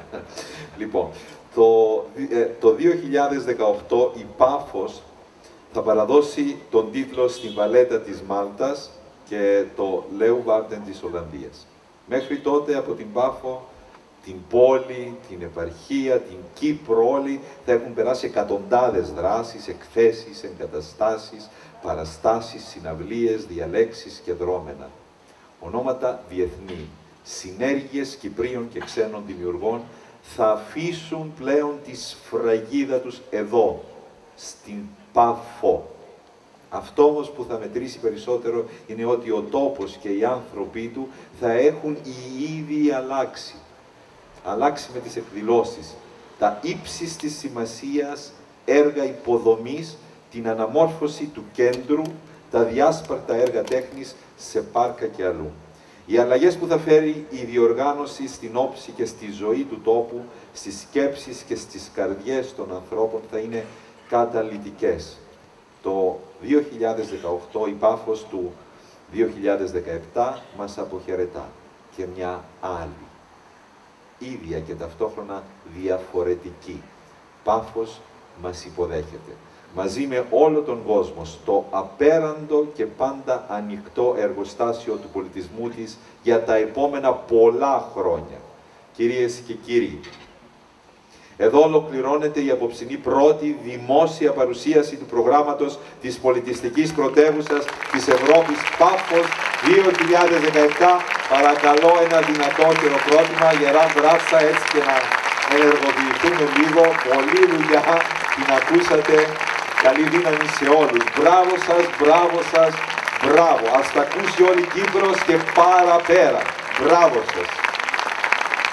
Σας ευχαριστούμε για την παρουσία σας εδώ και ελπίζουμε ότι μαζί θα διανύσουμε και το ταξίδι του 2017 σε κόσμους μακρινούς, σε κόσμους άγνωστους, αλλά και σε κόσμους οικείους, κόσμους δικούς μας. Όλα τα πιο πάνω βέβαια δεν θα ήταν δυνατόν να πραγματοποιηθούν χωρίς τους μεγάλους και μικρότερους χορηγούς του οργανισμού. Είναι πολύ σημαντικό. Χωρίς τους χορηγούς δεν κάνουμε τίποτα σχεδόν. Αισθανόμαστε την ανάγκη να τους ευχαριστήσουμε. Επίσημο πλατινένιο χορηγό μας την Τράπεζα Κύπρου, τον επίσημο τηλεπικοινωνιακό παροχέα την ΣΥΤΑ, τους επίσημους χρυσούς χορηγούς μας ο ΠΑΠ και τη Συνεργατική Κεντρική Τράπεζα, καθώς και όλους όσους βλέπετε, ο, μας βλέπετε στις οθόνες μας. Καλό σας βράδυ, καλό βράδυ σε όλους μας, ποτά και δέσματα σας περιμένουν, μας περιμένουν.